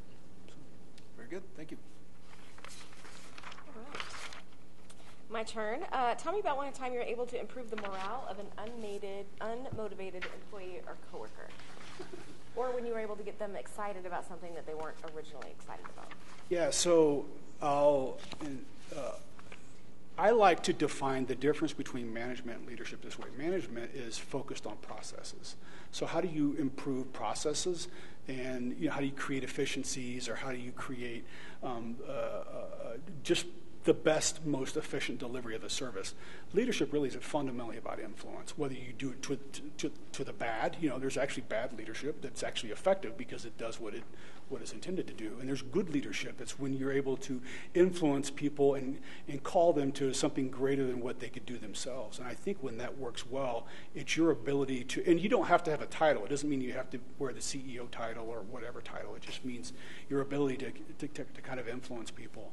And I think fundamentally, at the end of the day, when leadership works well, and when you, as uh, as someone who's tasked with providing leadership, when you know you're working well, it's when you when you have that capacity to, and you have that ability to influence um, um, people. Uh, probably one of um, the things I I enjoyed the most. In fact, we, I'm not sure if you um, who here had read maybe perhaps example of the um, oil and gas explosion that happened in Firestone that was there. Well, the, one of the men that were killed in that incident was a guy who worked for me and who um, we had kind of had our eye on, and we were trying to work to develop to kind of come in and become second uh, in charge there at, at, the Public Works facility. And uh, I mean, it was personal. It was a personal loss to me because it was a friend. But more important, or, or, equally important to that as well, was the fact that we had invested and we, we had a chance to help develop someone um, who really had a had a thirst and had a hunger to to um, to work in the community, live in the community, and to provide services in the community. Um, but when you first met him, when he first came on board, he um, uh, just pretty casual, you know, not sure what he wanted out of it, but to see him kind of rally to that um, over time and, and, to invest and to really say, we're going to spell out specific training and, and dollars. I'm personally going to spend time from me meeting with a group of supervisors and, and, trying to invest in conversations and figure out what they want and, and what, what interest and appetite lies there.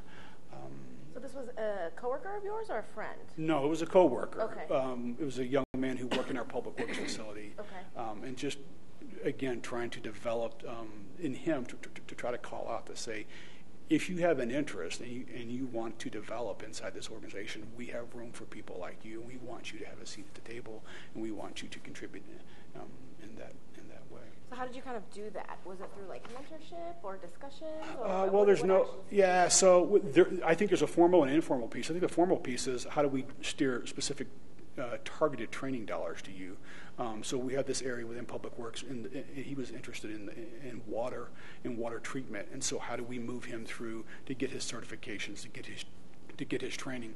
But in this case, this was um, w- we began to see a need there to develop second tier managers. And so one of the things we were intentionally trying to do was recruit people, not just top tier, but also that, that next, that subsequent and, and, and tertiary tier of managers. And so I was trying to create quarterly quarterly meetings and quarterly efforts to invite those people to larger discussions and you know formal discussions and leadership discussions that, that go on as well as me just sometimes taking these people to lunch and sitting around and just saying okay what what questions have you got what is this you're interested in and me showing an interest in, in where they were at and what they were doing and how I might be of service to that I think it takes both. I think it, it takes intentional formal, and I think it takes the informal connection as well.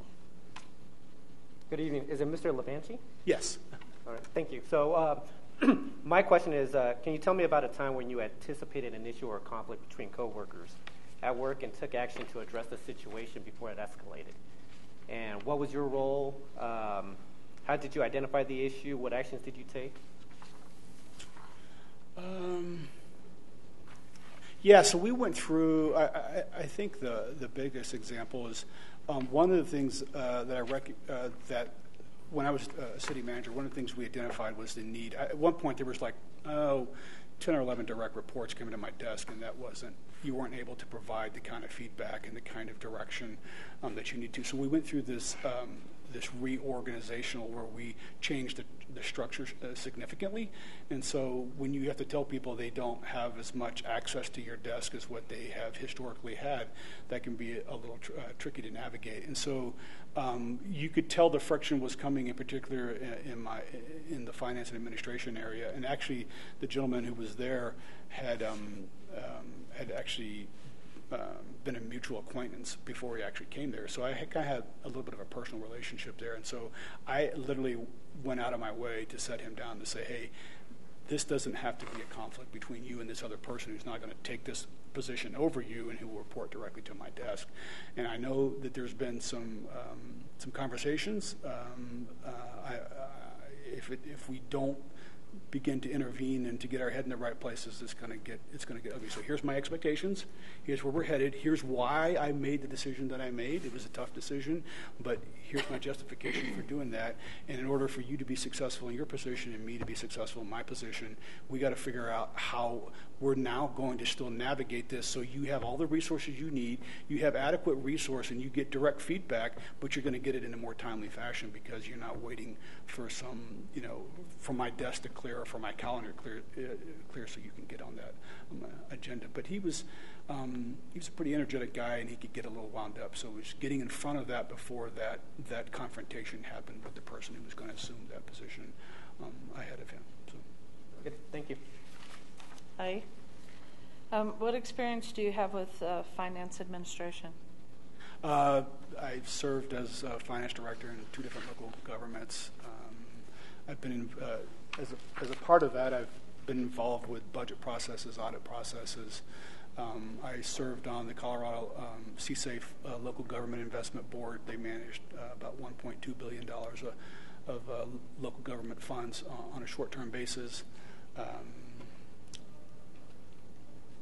so, uh, I'm not sure how much more detail you want on that. I provided my, I've, uh, yeah, I've probably done, I don't know how many budgets, 15 or so budgets over, over my career, or been intimately involved with those kind of budgets. Um, I've sat on, I've also sat on other boards, you know, sewer boards and other kinds of uh, local government boards myself, and been involved um, from uh, uh, the budget discussion and budget um, policy formation as well. So. Thank you. Um, how do you approach the planning process? What, in particular, what kind of systems do you use? How do you think about it? Set objectives, set priorities. Land use planning, or I, I'm thinking refer- more generally, Oh, but okay. you could Oh, give that oh, as just- an oh, example okay. too. Yeah, um, but you can certainly use land as an example. Oh, sure. No, that's fine. I'm just thinking best. Um, so, I think the sweet spot for uh, a, local government manager, whether you're this, uh, the CEO or whether you're on a management team, is the forward-looking piece. So it's um, I tell people probably. Um, one of the documents that has um, the most influence in any budget is probably your capital improvement plan, especially if you have a good one that you've tried to uh, think out or to, to give some prudence and, and some thought to. And the reason I use that as an example is because when you begin to think about most of the projects we do that have long term impact typically don't start magically on January 1 and magically end on December 31.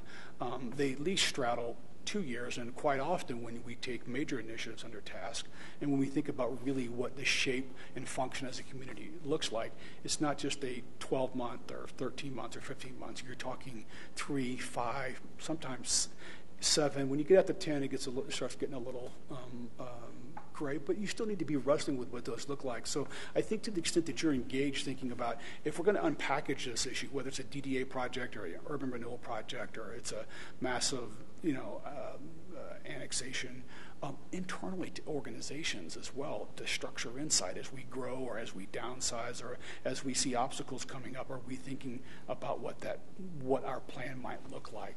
And what are those incremental steps that are going to help us get from where we're at to where we need to go? Can be some of the most can, can be some of the best use of your time. The problem is, is frequently as managers we're on to the most urgent item and the most um, the thing that's calling the hardest or the thing that's in the biggest crisis or the thing that's you know that's either yelling the loudest, you know, um, for whatever reason. That's where 80% of our time goes to. But it, it, it the ability to stop and to think and then to gather people in the room and to have good open conversations about what people see are opportunities, what people see as constraints, um, and then how, and then how and the best best paths um, spent moving forward.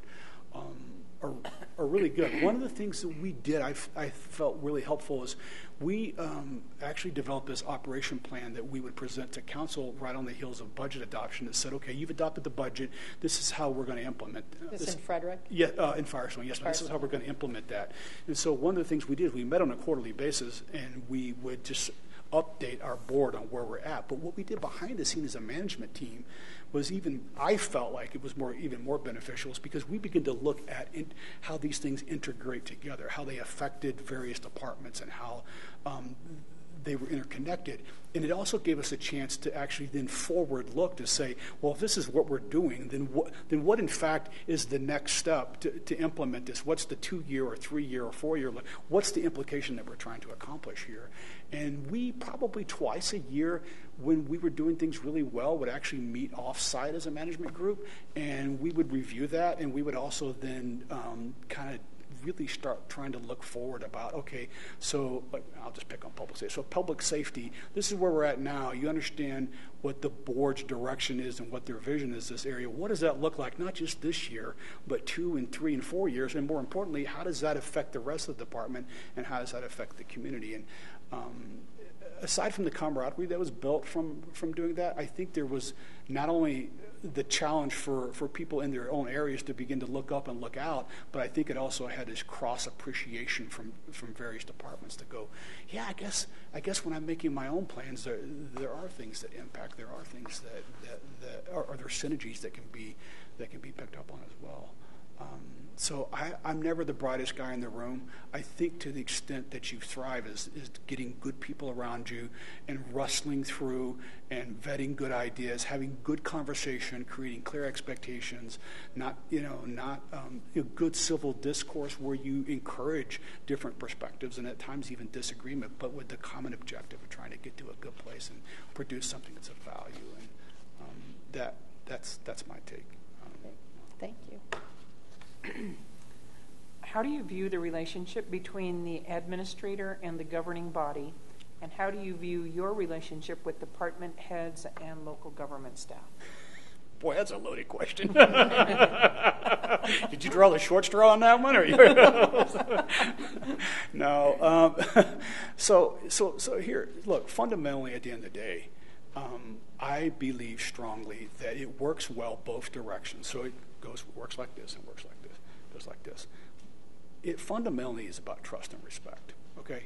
Now, it doesn't mean that you don't have disagreements. It doesn't mean you don't struggle with things. It doesn't mean that everything doesn't always work perfectly or all the chinks in the armor are perfectly aligned. But what it says is when we come at each other and we say we're going to create an environment, we're going to work our tails off to create an environment where there's trust and respect that works both ways. So from the manager's desk up um, to the councils, um, or from the manager's desk, you know, across or whatever, or maybe even down with it.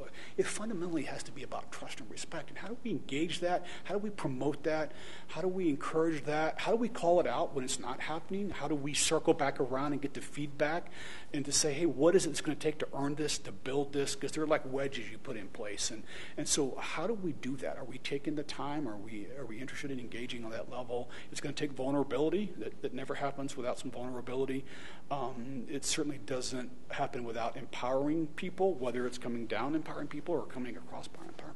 You're going to have to empower people, but fundamentally, it's about trust and respect. And so, you would see me. I hope um, there would be um, um, you know, my intent, whether serving here or some other places, how do I help create that trust and respect value? And whether civil discourse, where we're engaged on issues, where we're vetting them out. Sometimes that has to be done. We're airing them out.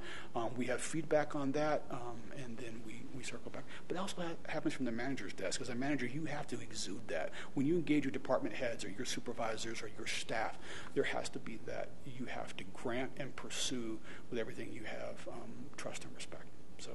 Um, I think when you do that, it takes a while. It's not a magic. It's not like fairy dust that sprinkles over and you know magically makes everything better. Um, but it when you pursue that and you do do it day in and day out, I'm just a believer in good things will happen on that.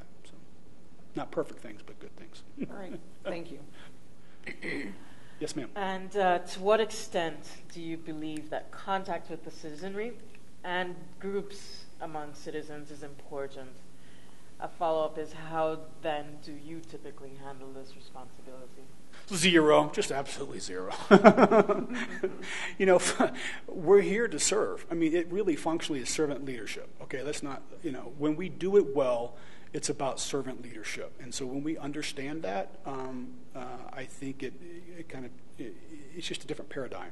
Um, now it's hard work, okay? You got to roll up your sleeves. It gets messy. You know, everybody you meet and engage doesn't necessarily um, maybe have the same opinion or the same perspective, or you, you know, again, you don't have necessarily fairy dust that you can, you know, sprinkle to, to solve all their issues. But I think if you can express genuine concern when you engage staff or citizens, I'm genuinely interested in hearing you out. I'm genuinely trying to interested in trying to figure out what what what's at the core of your issue, and to the extent I can, which you can't always, is there something I can proffer or offer to you that um, that may remedy this? It may not be what they thought, it may not be what they want at times, but I'm doing my best to try to engage you, to hear you out, to see what the concern is, and then to proffer something that's of worth back to you.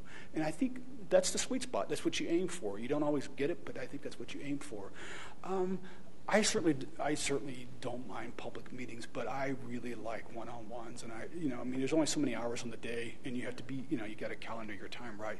But I think intentionally going after people. Um, I had a guy um, who was in the community I was at, and he had been probably the bane of existence of many boards before me, and he just he, just had this thing in his axe, and it, it wasn't going to get turned.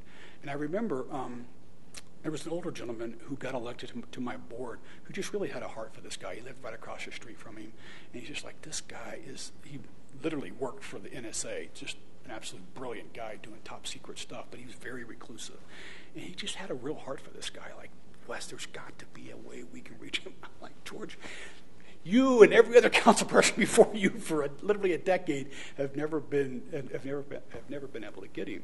He's like, no, I, I refuse to accept that. And so um, we worked at it and we worked at it, and finally, finally, we one day I convinced him. I said, I really want to hear. No, you don't want to hear. I said, I will buy you lunch on my dime, not on the city's dime. I will take cash out of my own wallet.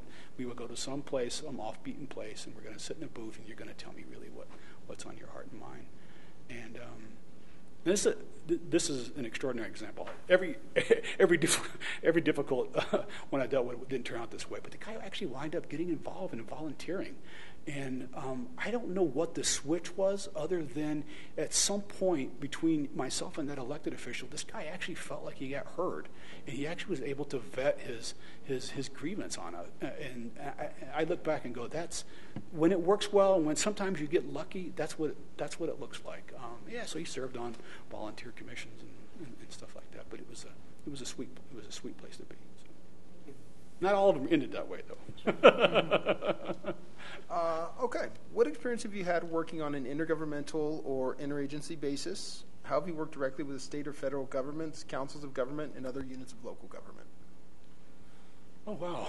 Um, so we, uh, one of the things that was important to the community I last uh, worked in was uh, transportation down I-25. And so there were two groups, uh, two coalition groups that were driven by the North Metro uh, Chamber of Commerce uh, to work on a variety of things. Tolling was one, and then lane expansion. And so there was an integration with CDOT, and and um, and I think um, RTD, some of the RTD staff was at the table as well, but looking for solutions and looking for funding alternatives, and then frankly, at some point, uh, lobbying the state legislature to provide additional funds um, for that north from I think it was 88th up initially to Highway 7, and then at some point uh, from Highway 7 up to um, up to Berthoud and then Loveland. And so um, that was probably one of the most recent examples of being involved with um, at that level. I've certainly um, uh, been involved with, uh, well, actually, when I was on the North Metro Chamber Board, um, I was a part of their legislative arm, and so we would be at the state capitol um, lobbying on a variety of bills that affected the Chamber of Commerce and um, uh, uh, things of that nature. Uh, we had a number of IGAs in the area. You know, well, one of the things that was a challenge when I when I first came in was uh, some of those IGAs had not been, oh, um, there had not been the TLC applied to them that probably um, needed to be, and so there was the opportunity to come alongside of some of them actually didn't even exist, but the ones that did um, just to, to sit down with people and say, okay, how do we make this work? How do we make this work well for your agency and the demands and constraints that you have? How do we make this work for the agency that I serve? And trying to form those um, relationships that were um, that were critical to do that. So whether it was um, the rec district or the fire district, and particularly with the ones in the school district were the ones that, that needed probably the most TLC, but um, uh, working on those we were part of DRCOG, but uh, that was uh, typically um, a liaison from our board that did that. But to the extent that it affected staff, we certainly wrapped ourselves around what that looked like and, and how we could partner um, uh, to the extent that was applicable. Excellent. Thank you. All right, this one's a two part question. Uh, what will your first steps be upon assuming responsibility for this position? And what can we do to make sure your first three months are successful? um, so I'm so I'm a believer. I think there are two different. Uh, I personally have two different ways of managing, or uh, I'm sorry, functioning as a manager. So one of them is getting reports. So you got to familiarize yourself and just get in and crunch and read. I think the other thing is is I like to walk around and observe and to just engage people. And I think informal conversations and informal discussions really help fill in the gaps between what you get in a written report or what you get off of what you read someplace. So there, there would be an extensive effort on my part to spend, to really discipline myself and my calendar to say I will spend a lot of time getting to know as many people as I can, hearing their perspective, hearing their story, whether that extends to the council, whether that extends to the community, or whether that extends to my personal staff. So um, one of the things I really admired, a good friend of mine took over the city manager desk in uh, Longmont, Colorado, Harold Dominguez. And I remember I was a city manager to an adjacent nearby city, and I was like, Harold, are you ever going to sit down and have coffee with me? And took me week. He said, Wes, I was deliberate. I went through ad nauseum, and I met with so many people internal to that organization and um, internal to that community. That's where my calendar um, that's what was most important to me. I wanted to hear from them. I wanted to try to understand them, and I wanted to try to, to gain a perspective that I could only uh, gain um, um, meeting with them. And I, I, thought to myself, if I ever get another chance to do this, I'm going to I'm to model that. I'm really going to say that's that's perspective. You, will here's the here's the great thing. You guys got good staff. More than likely, they're still doing a good job. So it's not like there's some giant hole out back where there's a giant sinkhole and everything's just kind of sucking down into it. Um, and I don't mean to say there's not issues to, to tackle, but the cool thing is, is because that's probably running in a decent place, you can roll up your sleeves and really try to invest on the relationship side of things, whether it's in the community, whether it's at the council level, or whether it's at the staff level to say, I want to sit down, I want to make this intentional, I want to be present. So when you're talking, I don't want to be reading a report and typing in my text and, and picking, I really want to engage and to understand uh, who these people are, um, what they've been through, what they what their perspective is on where the organization's at, where the community's at, you know, whether they've been here, you know, I don't know, 12 months, you know, five years, whatever that is. What what does that look like, and what do they have to offer? What's their advice to me? What's their advice to, um, and, and, what to look for, what to think about, uh, how to be challenged? And so I'd be most I'd be most interested in. Um, there's certainly going to be things here. I know you guys got some vacancies you got to wrestle through and, and try to fill. There's going to be things like, like that to think about. I think it's also engaging the council to say, okay, of all the things that can be worked on, let's make a realistic le- list. Let's create realistic expectations. Um, let's have mutual conversation about what that looks like. Let's have regular feedback, and then let's uh, um, let's have some accountability on that, and let's let's plot a plan moving forward. And um, I think if you get to a place where you create that reasonable list with those reasonable expectations, you set defined terms and defined expectations, you have good feedback, and you do it, like I said again, with trust and respect. I think some I think some good stuff can happen in, inside 90 days, 120 days. So, again, there's no fairy dust, but sure. good stuff good stuff can happen. I'm convinced of it. Thank you. So. Since we have a little bit more time, I wonder if there's any follow-ups on any of these Oh, before we ask. Uh, there's a little bit of time for that. If anybody has any follow-ups on any of them, I think I have one. Oh, sure, please. Yes, ma'am. Um, in your in the question we asked just about uh, time when you anticipated an issue or conflict, um, and you reorganized departments, which is a big change. We've gone Uh-huh. through that here too. Yes, ma'am. Uh, what what did you learn about what was important to the organization in that process? Wow. Um, that's good. Um, I so there's some good things. So uh, I think the hardest. So for me, the one thing that that I really that came home to roost for me was um, there's two sides of the coins when it comes to change. Um, and, some, and sometimes as a manager, you have a particular perspective, like I got this global vision and it's here and I've tried to meet it out. We beat this thing up, but how does that extend all the way down through the very, I mean, like, you know, through every uh, nuanced part of the organization? And I think I, I came away from that going, um, wow, sometimes you don't really, you think you know, but you really don't know what that looks like. But I think the other part of it too is sometimes you have to have the courage. And I think if you work hard, sometimes you have to go to people and say, hey, I've worked hard to build trust and credibility. I need you to come with me. And I know you. I know you don't understand it all, and you, you may not, but I, I want you to let me spin one of those credibility chips. And I think to the extent that you do a good job of that, and when I did, it worked well. And in some areas where I didn't, it kind of, I'm like, uh, I, you know, I could have done a better job communicating or spending the time necessary to do that. Um, but change is a tough thing, and I think you just have to be there for people as you navigate that to say, you know, look, inherently, life is change. Are we going to embrace it and make the best of it and make it work? Or are we going to be obstinate to it? And there are people who are cancers at times, and you have to have those conversations. But most people aren't. Most people just want some sort of appreciation for how is this going to affect me, and how is this going to affect the world that I operate in, and how is this going to affect my ability to provide either provide service or provide for my family. And I think when you, to me, that those were some good lessons, some things I got right at times, and some things I probably didn't and, and needed to grow through. When you got it right, it, sometimes what do you think you did to get it right? Um, yeah, that's a good one. So I, th- I think when you created that pathway for people where they they understood and had opportunity to buy in, and to help shape that to the extent possible, um, or to at least have a chance to be heard out. Um, it, it went well. And I think when it didn't, or some of the people you were relying on to help you, probably maybe you didn't create those expectations or you didn't follow up to make sure that was getting done, it, it, it didn't work so well. Um, yeah. yeah. Thank you. Anybody else have follow up to anything?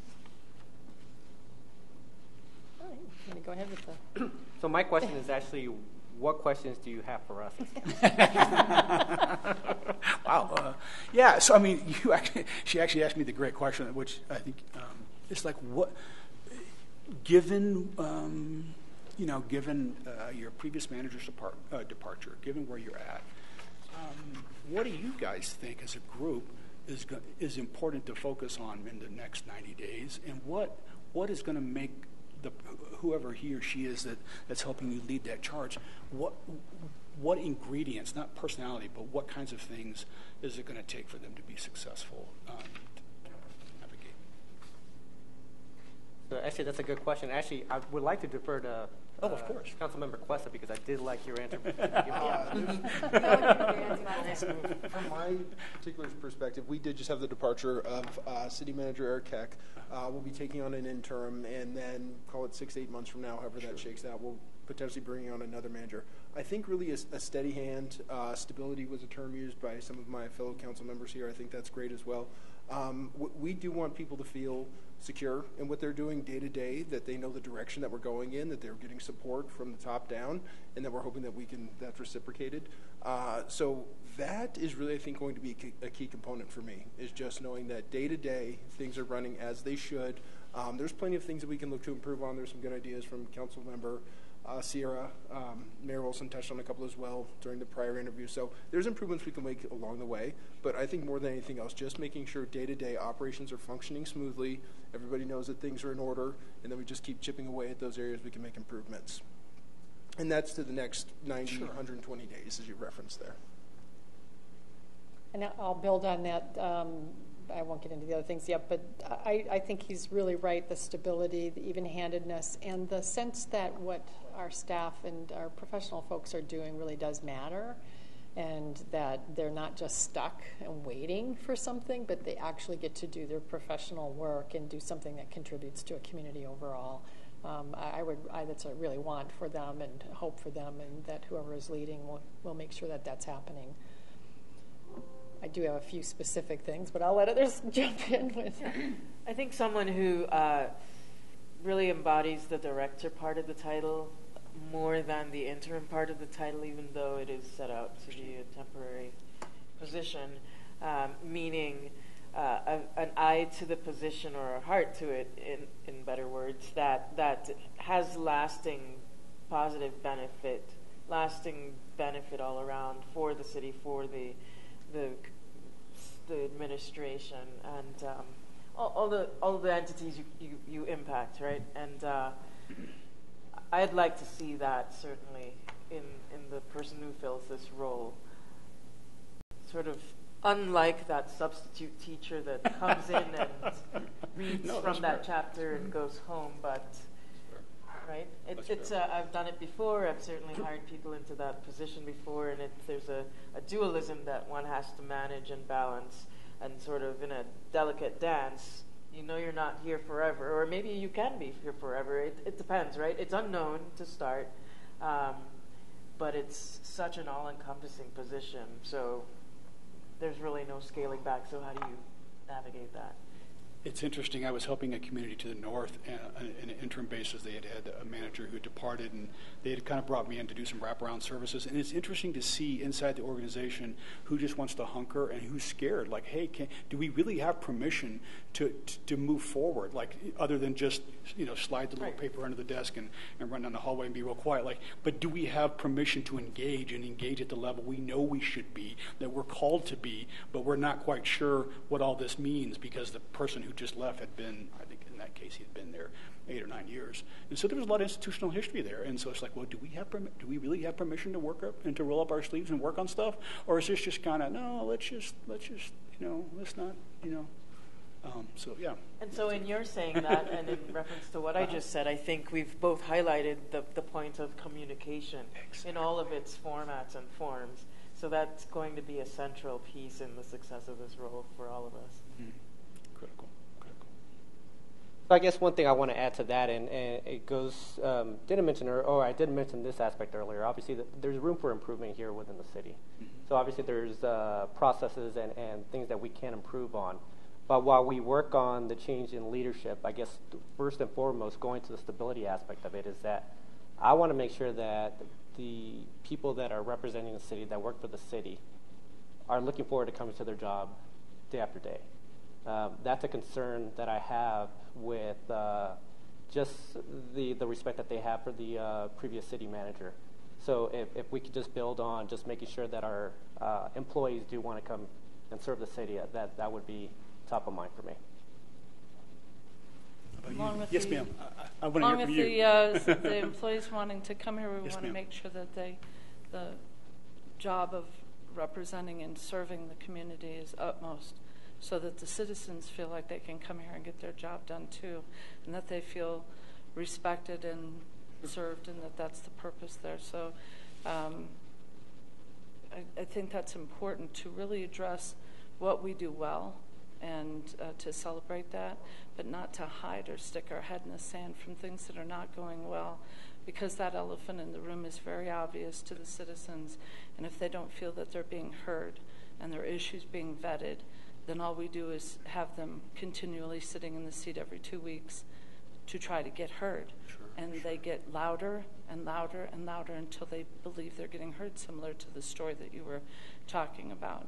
And so you either deal with it or you run, and those, those things don't happen. So then that doesn't make the employees feel comfortable, and it certainly doesn't make the citizens feel that they're being served or listened to, so then it just keeps escalating. And it's important for uh, that respect and that service to go both ways. And I think that that, I mean, I served on council before in the early, from 2003 to 2007, and that city manager, I think, was here for 17 years.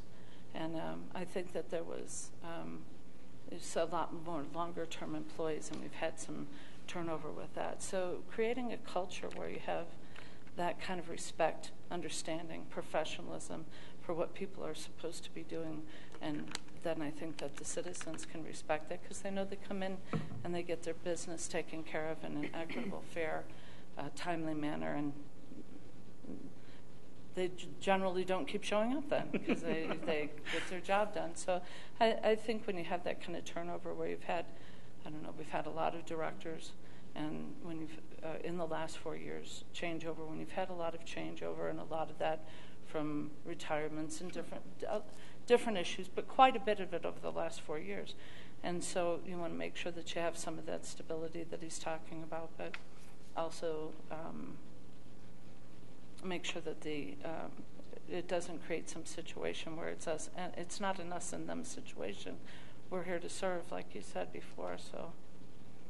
And an interim, you, you, you feel pretty strongly an interim manager can do that. They can engage and do that. I, yes, I, Okay. I do. I think that I, I think that um, when you stop trying to um, protect, Mm. when you stop running and turn around and address the issues, that usually there's a conversation that can happen similar to what you and the council member did with that person. That once you sit down and realize, get past the little vetting of the situation, which I'm sure can be a little rough, which I know is rough because I've been there.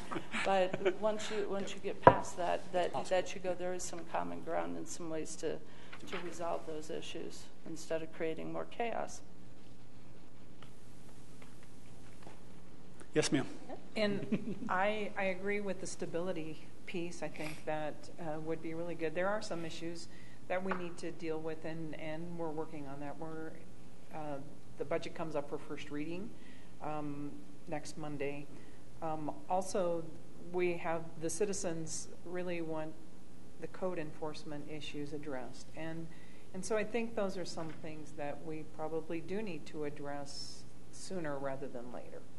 Um, so those are some of the things important. that I would like to see done.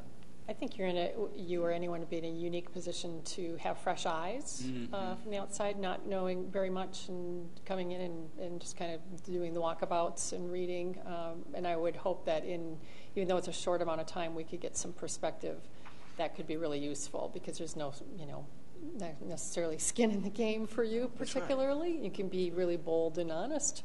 Um, but I, I think Mayor Protem mentioned the code piece. We're in the middle of some increasing some staffing there, and we need a plan. We need a little stronger plan, and we have some infrastructure issues that we also need a plan for. We have some funding over time, kinds of things that we could use some fresh thinking about, or some courageous conversations.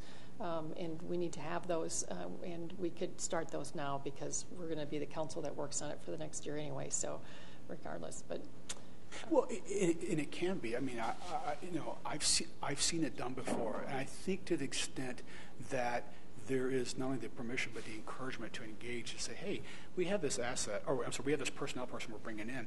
Let's let whoever he or she is that winds up being your fit here. How do we tap that to do some things we may never have it, or not never, but we may it may be a while before we have a chance to do. What are some specific things we can tackle during this interim besides helping get a recruiting firm and going through all the steps that you know that typically happens? But that's just a little piece of it. Like, what are some really some things that we should could focus on, or some things that are unique to focus on during this interim time that we might otherwise not be doing or or, or whatever? And I, it, it, it really is. I watched Windsor do it when I was up there. You know, they were very curious about the organization, so that was very important for them. Well, we had this one report. We're not real sure. What do you think of it? And just to be able to go engage that. And so, in that case, it's really about how do we take this set aside time because we're all we all know we're here, and how are we deliberate with it, and and, and, how are we intentional with that? And I think you're I think you're very much right, Mayor. I think that that's a it's kind of a unique place to be, and it can be a good thing if it's if it's applied and done. Councilmember Martinez, think- did you I have didn't something mean- to I add? was just Yes, going to ma'am. say, it, it is going to be a unique position to be in, um, the interim, and I think it's going to be really important to understand the changes our community has been going through and is currently going through. That's really going to impact, you know, um, the person in this position quite a bit. Uh, but I do also think um, having a fresh perspective is going to be, I mean, you're going to have the advantage in that, that um, you're you're coming in with really not a whole lot of like baggage or backstory to take a look at things. So with that, um, you know, to be upfront and honest with us about things that you think could be improved um, and, and whatnot. But I also think you know the importance of uh, the humanity aspect and really giving our staff support that they need. I think that's going to be really uh, important as well. I do think council will have to do some pretty serious work in, in discussing what it is exactly we're going to ask for this position to achieve in the next 30, 60, 90 days, um, just so we're all on the same page and we can be clear with our expectations. So I think we still have some work to do there, but of course. um, yeah. Good. That's good. That's good.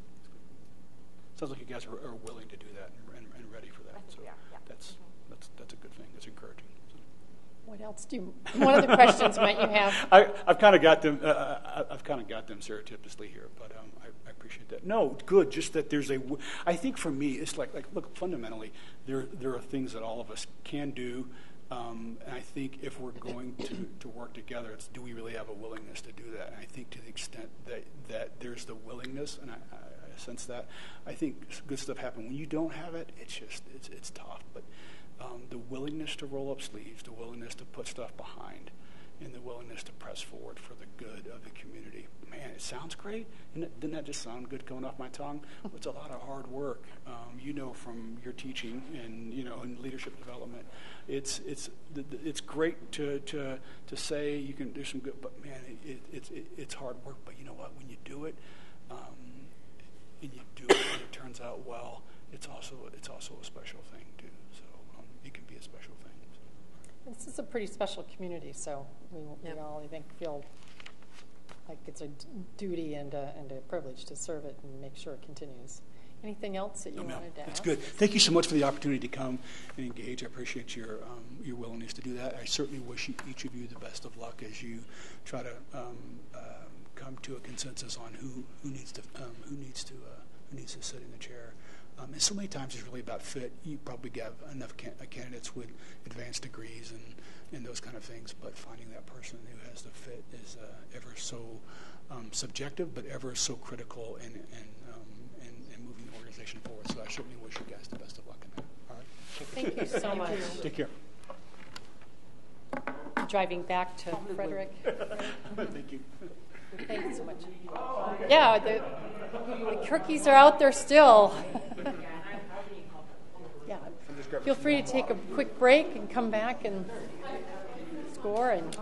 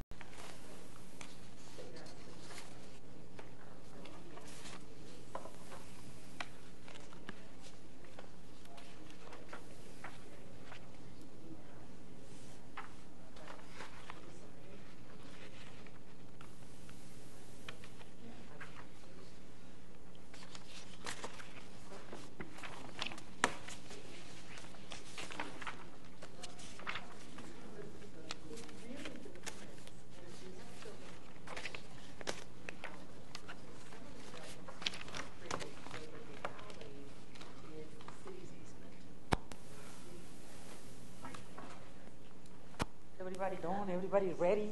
Do we want to have discussion? Do we want to talk about it? I think I'm, I'm ready to discuss. You're ready to discuss? Is there a way to unlock that door but then have it be closed so that people can get back Okay. in? It's just awkward to have I don't if I conversation. can, if I know how to unlock Oh. it, but I'll try. I'll let you in if you get down.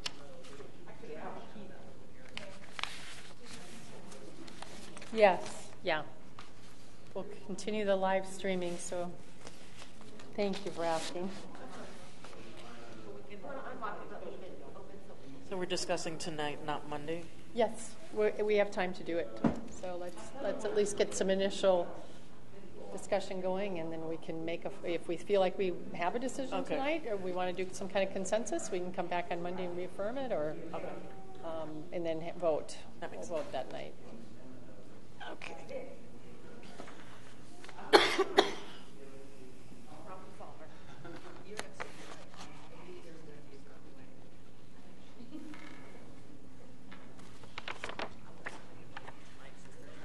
All right, so anything that stood out, any, Well, I'll, I'll uh, um, start out by saying that both of these people are, are great people that I could see either one in, in different ways. Um, so lovely people in general. Yeah, I, I would concur with that. I, I think my, I'm pleased to say that I, both candidates have the requisite experience and, and training and uh, understanding of the position to, I think, help us through this period. So, so this is a good place to be. Um, from that, I think, in, in my opinion, nothing stood out. No, to answer your question directly. I Well, would we- agree. I think both of the candidates were really very good. It's going to be interesting, given the notes that I've written, to go back now and knowing them and their comments to relook at the uh, information, including stuff that was handed out tonight, um, and kind of get a different feel for what I read before might look different to me now, given what they've said. So I will be relooking at it. so it's safe to assume that we will make a decision out of these two candidates, Yes, from my Yes. perspective, okay? it's everyone else. Yes. Yes, I think I mean, that's is a that- decision. You think we have a candidate here? I believe so. I mean, how would we, what would be the other option? Right. We can extend the search, but I mean, I don't, I don't know I don't if that we will, have yeah. Yeah. I mean, I don't know what that, that I needed to ask the question. Yeah, I think they're both very qualified, so I Okay. think we have two good applicants. I don't know if you want to um, discuss any, any pros or any, you know, particularly important things on both candidates that you noticed that you, that you liked. I guess I could. I, I guess uh, there was one candidate that did provide more specifics on how they would manage, how they would approach things, uh, which stood out for me. Um, the one thing, the one thing that I was surprised about, in a sense, was that uh, I was really, I didn't, I didn't ask the question when when the mayor asked if, if there was a follow up question. I just didn't think it was appropriate. But I was really hoping that that Wes, Mr. LaVanchy, would talk a little bit more about his involvement with the floods that affected that area um, back in 2013, and just his response. You know, the intra agencies that he worked with that, that that was one aspect that I was looking for. I was hoping that it would come out from him. I didn't want to lead him into that specific. So that was that was one thing that stood out for me um, uh, over the two interviews. I, would uh, echo that. Um, I think that there might have been an opportunity missed there as well. I thought his emergency experience could have been one to hear more about. He also mentioned the oil and gas explosion they had, which is another one where, uh, needless to say, um, I, think could have been very um, informative just on some of the experience he's had. My concern there was asking that question, though, and it being out of whack with the questions we asked uh, the prior candidate, too. So I, I wasn't sure if it was appropriate for us to do so, but um, I guess we know at least in passing he has some experience there, but getting the specifics of that would have been, I, again, I think informative on some of the things he's done. It's fine to ask follow-up questions as long as everyone get asked, gets asked the exact same questions. So, but you can explore because each candidate Yeah, is and different. better if we'd have known that before than I, after. sorry, I assumed that everyone knew that. That was probably in. I guess to that point is, you know, we've got more interviews to come with uh, permanent. So um, he had gone second. We can't go back and ask the first woman. So you're saying that we could ask him a question that the first candidate did not? I think whenever you ca you don't understand something, you think they didn't quite cover a question as much as you would have liked, you can always go back and ask Yeah, more. not You're not, not doing based on the anything new. Um, I think what she's saying too is to make sure that all of our questions got asked, and if we wanted other follow-up questions to supplement those, we could add those. But we need to make sure all the ones that are on, uh, in our list were asked. Is that right? Yeah, I mean, I asked her another question because I didn't think she, the planning one, she went in one direction, and I realized, oh, that, that makes sense because they're coming from planning backgrounds. They went right to comp plan or land planning, and I was thinking that question was about general planning, but maybe it was supposed to be that way. I don't know. So I think it's fine to do that. So when we get to the city manager one, we'll do a session on asking questions, and we'll spend a little bit more time than we did on this. I think we were rushed that night. We didn't really. You, um, if you haven't done a lot of interviewing legally, you want to try and stay asking the exact same question, but then go further if you need to, because every person's different. You've got different kinds of things you're pulling on, and but yeah, I think one candidate. I think um, from my perspective, uh, M- Ms. Egger. I think I don't know if it's Egger or Edger. Edgar. I think she says Edgar, but Egger. don't trust Um, me. I mean, just gave a lot more specifics, I, and I didn't need to ask any further ones. I'm, uh, was afraid we were going to run out of time, but we were fine at the end. There were just a lot of examples that were really specific and on target. So, in that way, she she sort of shone for me. And uh, to tag on to that comment, Mayor Olson, I think also with Mr. Sierra said it as well, and you're saying, speaking to the specifics we got from Ms. Egger, I, she also displayed a tremendous foundation in, of understanding about Englewood and its needs. Um, with, by curtailing her examples, um, she gave examples of previous experiences, but to realities here and challenges here, experiences here that we could. So that so, you know, wh- which you always. I, I love seeing when I'm interviewing, and I thought that that was something that pervaded all of the the, the answers provided by her. I also appreciated the very thorough um, thoroughness of the responses of the examples. I thought that showed a really nice breadth of a understanding of our questions and what we were trying to get at, and also just the variety of the experience, which I think um, she has. I did also like. Um, she mentioned several times the importance of culture, and I think that's going to be really important for us, um, especially in this kind of time where we have a lot of change, the importance of keeping with our culture and um, helping to everyone to feel you know good and heard and welcomed. I think is going to be really important.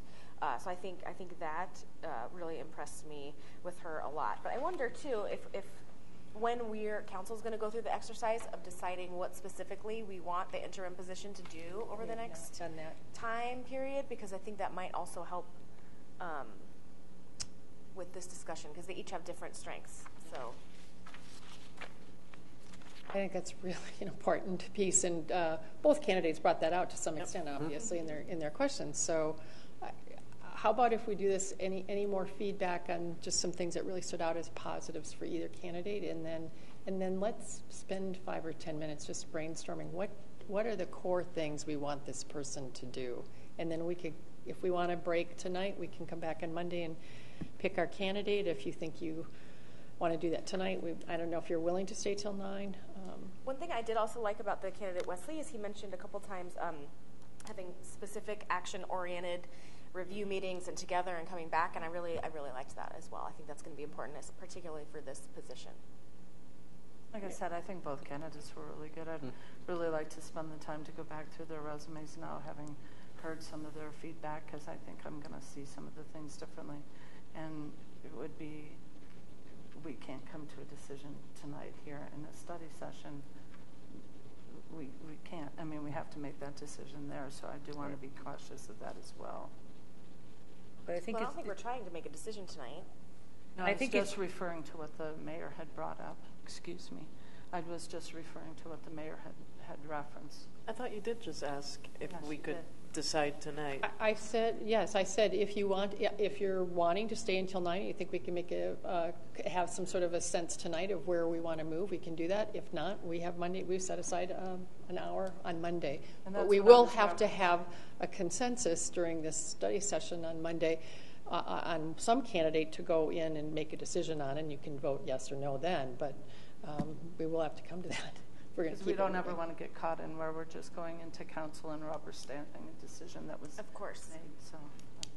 You can always vote no in there and can, you know, and say something It's that's the changed discussion in and your the view. form- Format of how we're making the decision, that's the important piece of that. I, I think it's very important if you all agree on what, what you're looking for. That will help you make your decision, as, as Council Martinez said. Um, if we have a clear view on what are we looking for, it's easier to go back and read the notes and read the, the, the resume. So, you know, I heard tonight that you want somebody that has a steady hand. Um, th- that was one of the things. So why don't we brainstorm around what is it that we're looking for so you can go back to your notes and, and you know look at okay this is the criteria we're applying which one of the two candidates responded better to, to that criteria I really like the financial background. I mean, the point that you made about being going through the budget. And both of them have that. I think he was a little stronger on the financial background. Um, and then the um, not security, stability uh, piece of it is as well. I think those were the two important things that kind of Right. got brought out. So. One of the things for me is um, not even so much the candidates, but where the candidates come from. Uh, Avon, Telluride, Sun Valley, those are all resort towns, ski towns. Avon, 15K population. Telluride and Sun Valley, 2,500 and 1,400 people apiece. Um, certainly more contingent on tourist uh, dollars, things of that nature. She mentioned Telluride is a festival town. We are not a festival town. She mentioned uh, pretty rapid development, which is, you know, certainly that's a contentious issue in this city, to be sure. Um, the gentleman, he's from Frederick and Firestone.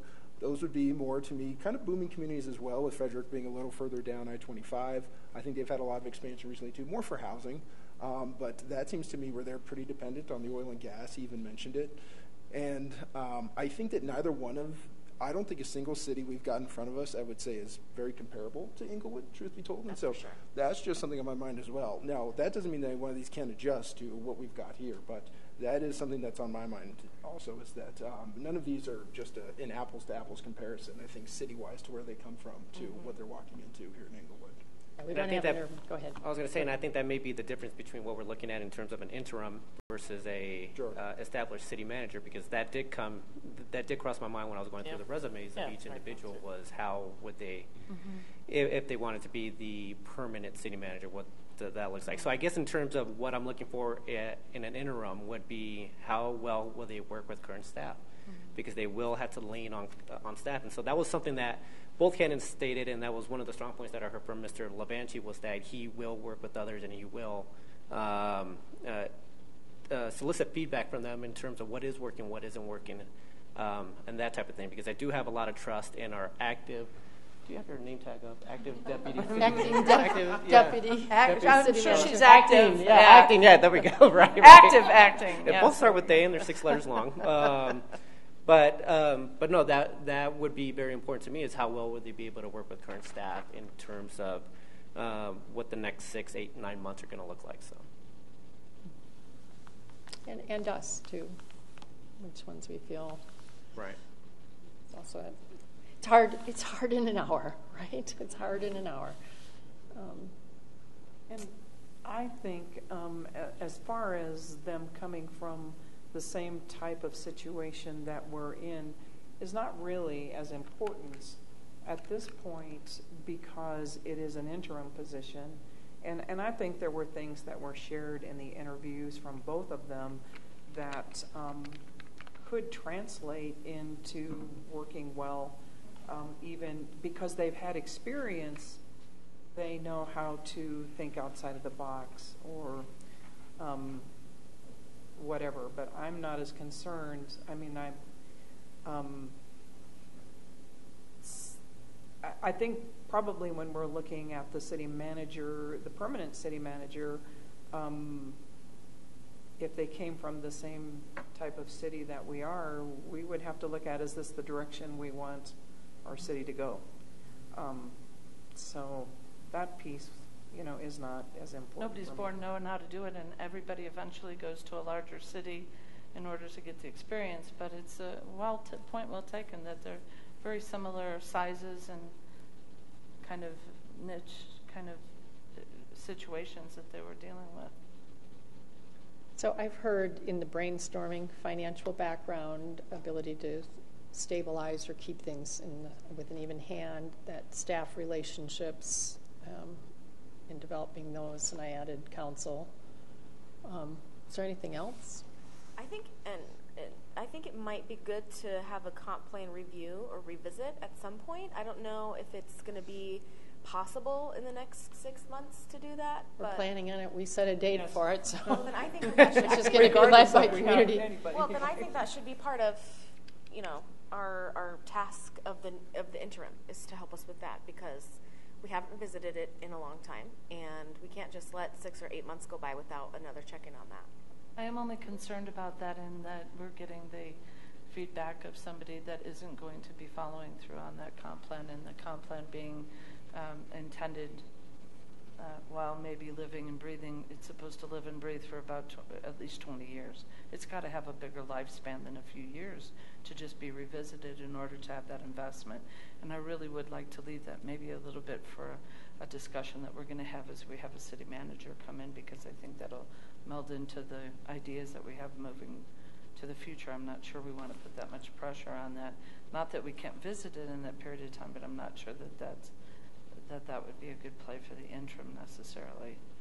We, we do have it on our schedule, partly because Member Cuesta asked for it and because we haven't done any kind of review. So the meeting that we're going to have is going to be with community development coming to ask us how we would like to go about it. So that'd be the time for us to, because they're not, they're not going to come and start and say, okay, we're going to start here. They want to hear from us. Where do you want to start? Are there some hot spots you want to start with? Let's go with those first. Or do you want to go through systematically? So that's in about, Getting feedback. two, three, yeah, that's the first meeting. It's not about, it's and not. that's such a long process, so I see Yeah. what you're saying. I see, I see what you're saying. Do you know the date on that? Has that been scheduled? I, Yes. I have it right here. Somewhere right here. At that point, I, I don't think anybody's expecting an overhaul of the. um, October comp 22nd. But I think them having a consciousness of it is they're making decisions, they're still gonna be here six, nine We got months. So to- just as they go about daily operations, that they're within the boundaries of what we're expecting. Yeah. I think them having at least a passing knowledge of it would probably be It best. surely doesn't hurt to get a fresh set of eyes Sure. on, on that plan. I think that's the exciting part of either one of them. It's just having someone that's, you know, it's exciting for us maybe because we're not here every day, but we have to find someone who's gonna, um, who will help with the steadiness too. I, Well, the other I- thing I would like to add to that is that I think both of them um, demonstrated some examples and a willingness to deal with the citizens as well, and to let them be heard and vet the issues that are going on so that they can get served. I mean, if we're here to serve, then you can't aggravate the people you're serving. So I want to make sure that those issues, sometimes hard to hear and sometimes hard to listen to, uh, I think both of them demonstrated examples where they've been able to accomplish that and respected that. So I'd like that in, in that piece too. We, um, we have the tape available. I mean, it was streaming live, so we can go back and watch what each of them said and how they reacted to. So it's always and look again. So I have the steady hand, the stability, the financial piece, uh, the towns they have served, the thinking outside the box, as the Mayor Pro Tem said, the staff council relations, the comp time experience, and the citizens relations communication. What, what is this list? This is the list, of stuff that you came up with that was important, the criteria to, to take a look at the two candidates. I think what we started this I with thought we was the idea that we wanted to have some uh, format of what we were expecting from the interim city manager, and that's kind of what we were writing down was these are the things that were We were just brainstorming, so Yeah. those are not necessarily everybody's, but those are things people contributed. Yeah, I, I, think we need to probably whittle them down a bit to say, are there three or four things we really want this person to be and do, and, and do we fit? Does it fit? What are there, six? That was like Seven. What about, Yeah, I um, don't think that that's I don't know if this plays into this exactly, but I know it's mentioned a couple times recently with um, taking a, uh, what is it, like um, an overview of what we need to do in code enforcement over the 60, next 60 days. I don't know if we should include some that in our task of that, or if that's just going to be just the police department without support from I would think the person has to be able to facilitate some of these things and pull the pieces together and pull the department heads together to make things happen. Well, because And no matter probably who, no both matter of them who can we do it. choose, we're going to have to give them very specific things of what we want them to do. Right? Uh, around those issues, or yes, Yeah, or not. or not. Or just leave it Yeah. open and then, you know. Right, and I mean, those are issues that we're going to be addressing regardless of who is Right. in this position. If they attend the first meeting, they'll know it's an issue. So I think we should make them aware of it, yeah, probably, which we did during the questioning as well, so. Councilmember Wink, you, you looked like you were going to say something. and I, when you look like that, sometimes I think you have a great idea. Do you have something more Oh, to you say? did tune into that. uh, no, I, You're Fine. Okay. Are you, do you think we should do a different, do it kind of differently on setting the priorities or how we're Thank you. brainstorming? Okay. Yeah, to me, what Mar- Director Gonzalez just read doesn't sound like a list of final priorities that we would say. Doesn't look like sound like a well thought through, comprehensive. Yeah, these things are absolutely what we want to pinpoint in our interim manager. It sounded like, oh, I liked this, and oh yeah, I noticed that you know these two are from cities of this size and this kind of town, and but that, they didn't didn't sound like a cohesive list of that to me. Would, would financial background, a strong financial background? I think we all agree that that that Being able to facilitate some stability, we But that, that doesn't all- sound like something we're looking for in them. That to me was a comment about what we expected them to do in their role. But, and we said provide stability to the staff and to the citizenry and help us transition smoothly. It didn't sound like a thing we want them to be. What is the list that we're crafting I here? think there's two different. that I'm think there's two different sets of things going on. I think we need to figure out what exactly we want them to achieve while they're here. But I think before that, or with that, we need to decide this criteria that we're going to select. Is it just these top four, you know, grading criterias, or are there other uh, kind of like attributes that we want them to possess? I'm thinking they're like two separate things. That's, that's why I wanted you to, to do this exercise, okay? We already have a criteria that we established on the job description. We all went through the job description, Right. and the questions came out out of the job description. So I think if we concentrate on the four areas that we identify here and, and grade them on what we heard tonight on these criteria, we will have somebody that can do the things that you listed that you want done.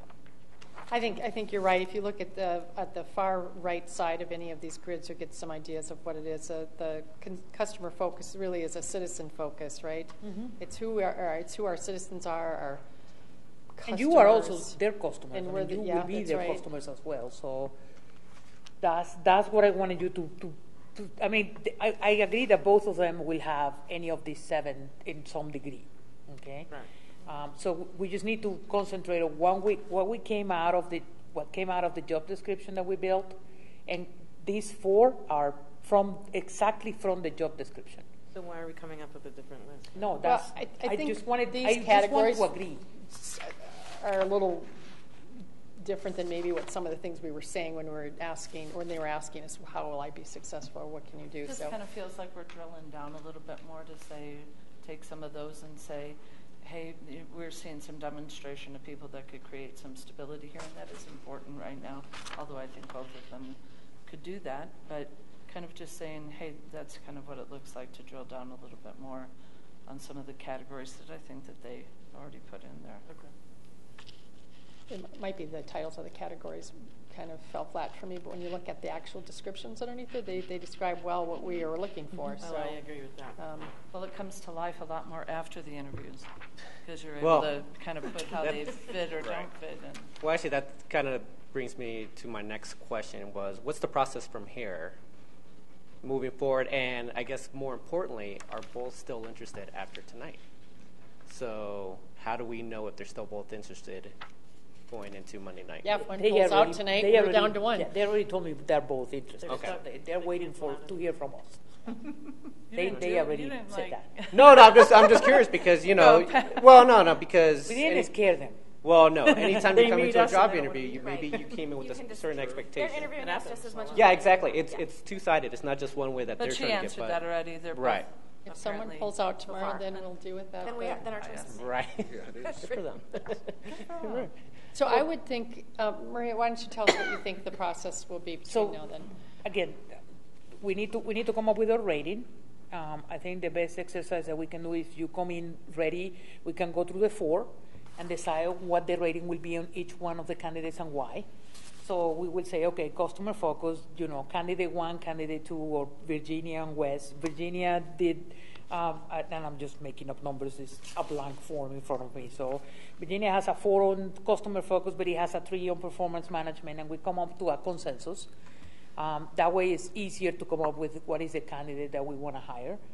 Um, things that we also have to consider is the communication style, um, if they can prepare or not, how prepared were they, were they. That's important because that will show you the level of interest and the level of attention to detail, which is very important on that job. Um, you know, the way somebody that gives a lot of examples is somebody that knows what they're talking about. That's what I told you when we talk about uh, doing behavioral interviewing. If they talk about things that they already done, they are going to repeat that behavior. So that's very valuable when somebody offers you a lot of relevant um, examples, meaning that they know what they're talking about. It's not just a general answer; it's an answer that it was drilled down, something that I already did. Um, so that's very important. So the process next week we have the study session. We will, you know, make a discu- have a discussion about what do you think, you know, Virginia and West have better customer focus and performance management, and and we'll go through the four, and we will have points. I mean, it's very easy. Once we have the points, we can add them up, and we say yes, this is the person that we need to hire, and then we will go into the um, uh, regular session, and you will vote, and Alison and I will work on offering that candidate the job. So if I'm, That's- if I'm understanding that correctly, we'll come in here Monday. Um, you will say, I gave X amount of points to Virginia, X amount of points to Virginia, X amount of points to West. Whoever has the highest score out of that, we just walk in there and vote. I think it's the easiest We'll way. have unless- more discussion, I think. Yeah, unless we have somebody that you gave it a one and, and, and Antonio gave it a five, okay, then we can discuss. But if we all agree on what the point should be, there is no need to take it longer. I mean, I think we are all Well, very. there's seven of us, so. So I thought you were going to take the ratings tonight, but Yes, we're- I can but- give you an empty one and I will keep the, the ratings if you don't mind. Okay, well, here, here's my deal. I wrote notes on here that would help me rethink what I'm, what I, Okay. what I saw. So I would like to take these with me, but I don't mind Okay. giving you my numbers. No, At no, the no, end I of don't the- need to take the numbers. It, I Okay. just need the, the forms not to get, I, there's, they're confidential, I so. prefer not to until so after I keep have them. a chance to do the process that I said I wanted to do. Now, while I rated it right now, I'd like to go back, look at their resumes, given the answers that they give with my notes, and um, have the conversation. And the um, intent is to not just go ahead and come back with a number. My concern with that, only providing a number, we go around and just do some kind of little round robin and hold up scorecards, is that then the citizens are not being provided the information on why we're making the decision. So that's why it has to have the conversation. And most of that conversation, or at least some of it, needs to happen on the dais. Uh, I, Can I? go ahead. Just a question. So, just want to make sure that I had all the forms that were provided. So, I received three different sheets for Mr. LaVanchy and two different ones for. yeah, those are the documents that they provided Perfect. additional to what you already have. Okay. I There just want was to make sure I two- had everything. Wait a second, I only, I got two for her tonight. Correct. And just one for him, I thought. That was a His is handout. three, is his is three pages long. I Yeah. think. Got a resume for him. Oh, yeah, and he the did put in the The resume. final Oh, Oh, is okay. his resume. But the only ones that were handed out tonight were two for her and one for him. No, you Yeah. should have his his resume as well. Two Here. for You him. got Looks his like for resume. Wes, we have a resume email- and a in the press email. release. Yes. And Okay, so there was a For two Virginia, for we have- him and two for her that were handed out tonight. Yes. All right, thank you. No, no. I, I have them. There's Three. Three, three for There him. should be So three for these him. are the Three three. for Wes, his resume, which is Not His the- resume is, No, you, I'm only talking about what was handed out tonight. correct. Additional, then I don't have So something. there should be a second sheet to the. I res- don't have to this the then. resume. I don't have a second sheet to that that was handed out tonight then. yes, there is a complete Oh, one right okay, this one here. She has it. Double check, because that's why we're always Yep. concerned with things that are handed out at the thing. Okay, perfect. We're good. I have So- it all. I would expect that we could come back on Monday night at six and have a good conversation, and then continue it in there, and it'll be under mayor's choice. So um, I don't mind rehashing things in there, and it's public both places. But um, no decision is made in here. We will vote in there, and we'll we'll give further reasons. Uh, but I think we need to have done some rethinking ourselves between now and then. And the, the blank interview guide is a public document, so the public has access to everything that is in here. Okay. They already know what the criteria that we're using, so they, they are informed of how we're making the decision already. Oh, good. Then in regards to that second piece where it was what, what are our expectations that are more specific for whoever it is, I think that that's something, once we hire them, to sit down and say, okay, here are some wish lists we have. We know we probably can't get all this done in the four to six to eight months you may, but what would be the prime things? And we can ask our directors particularly to help with that, to say, council, this is what we really need from you. And what's realistic? Yes.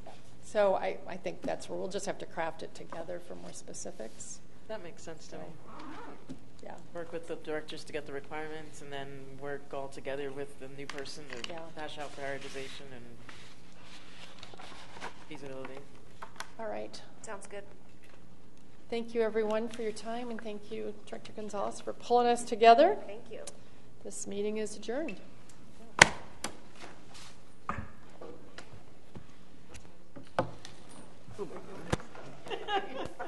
What time is it?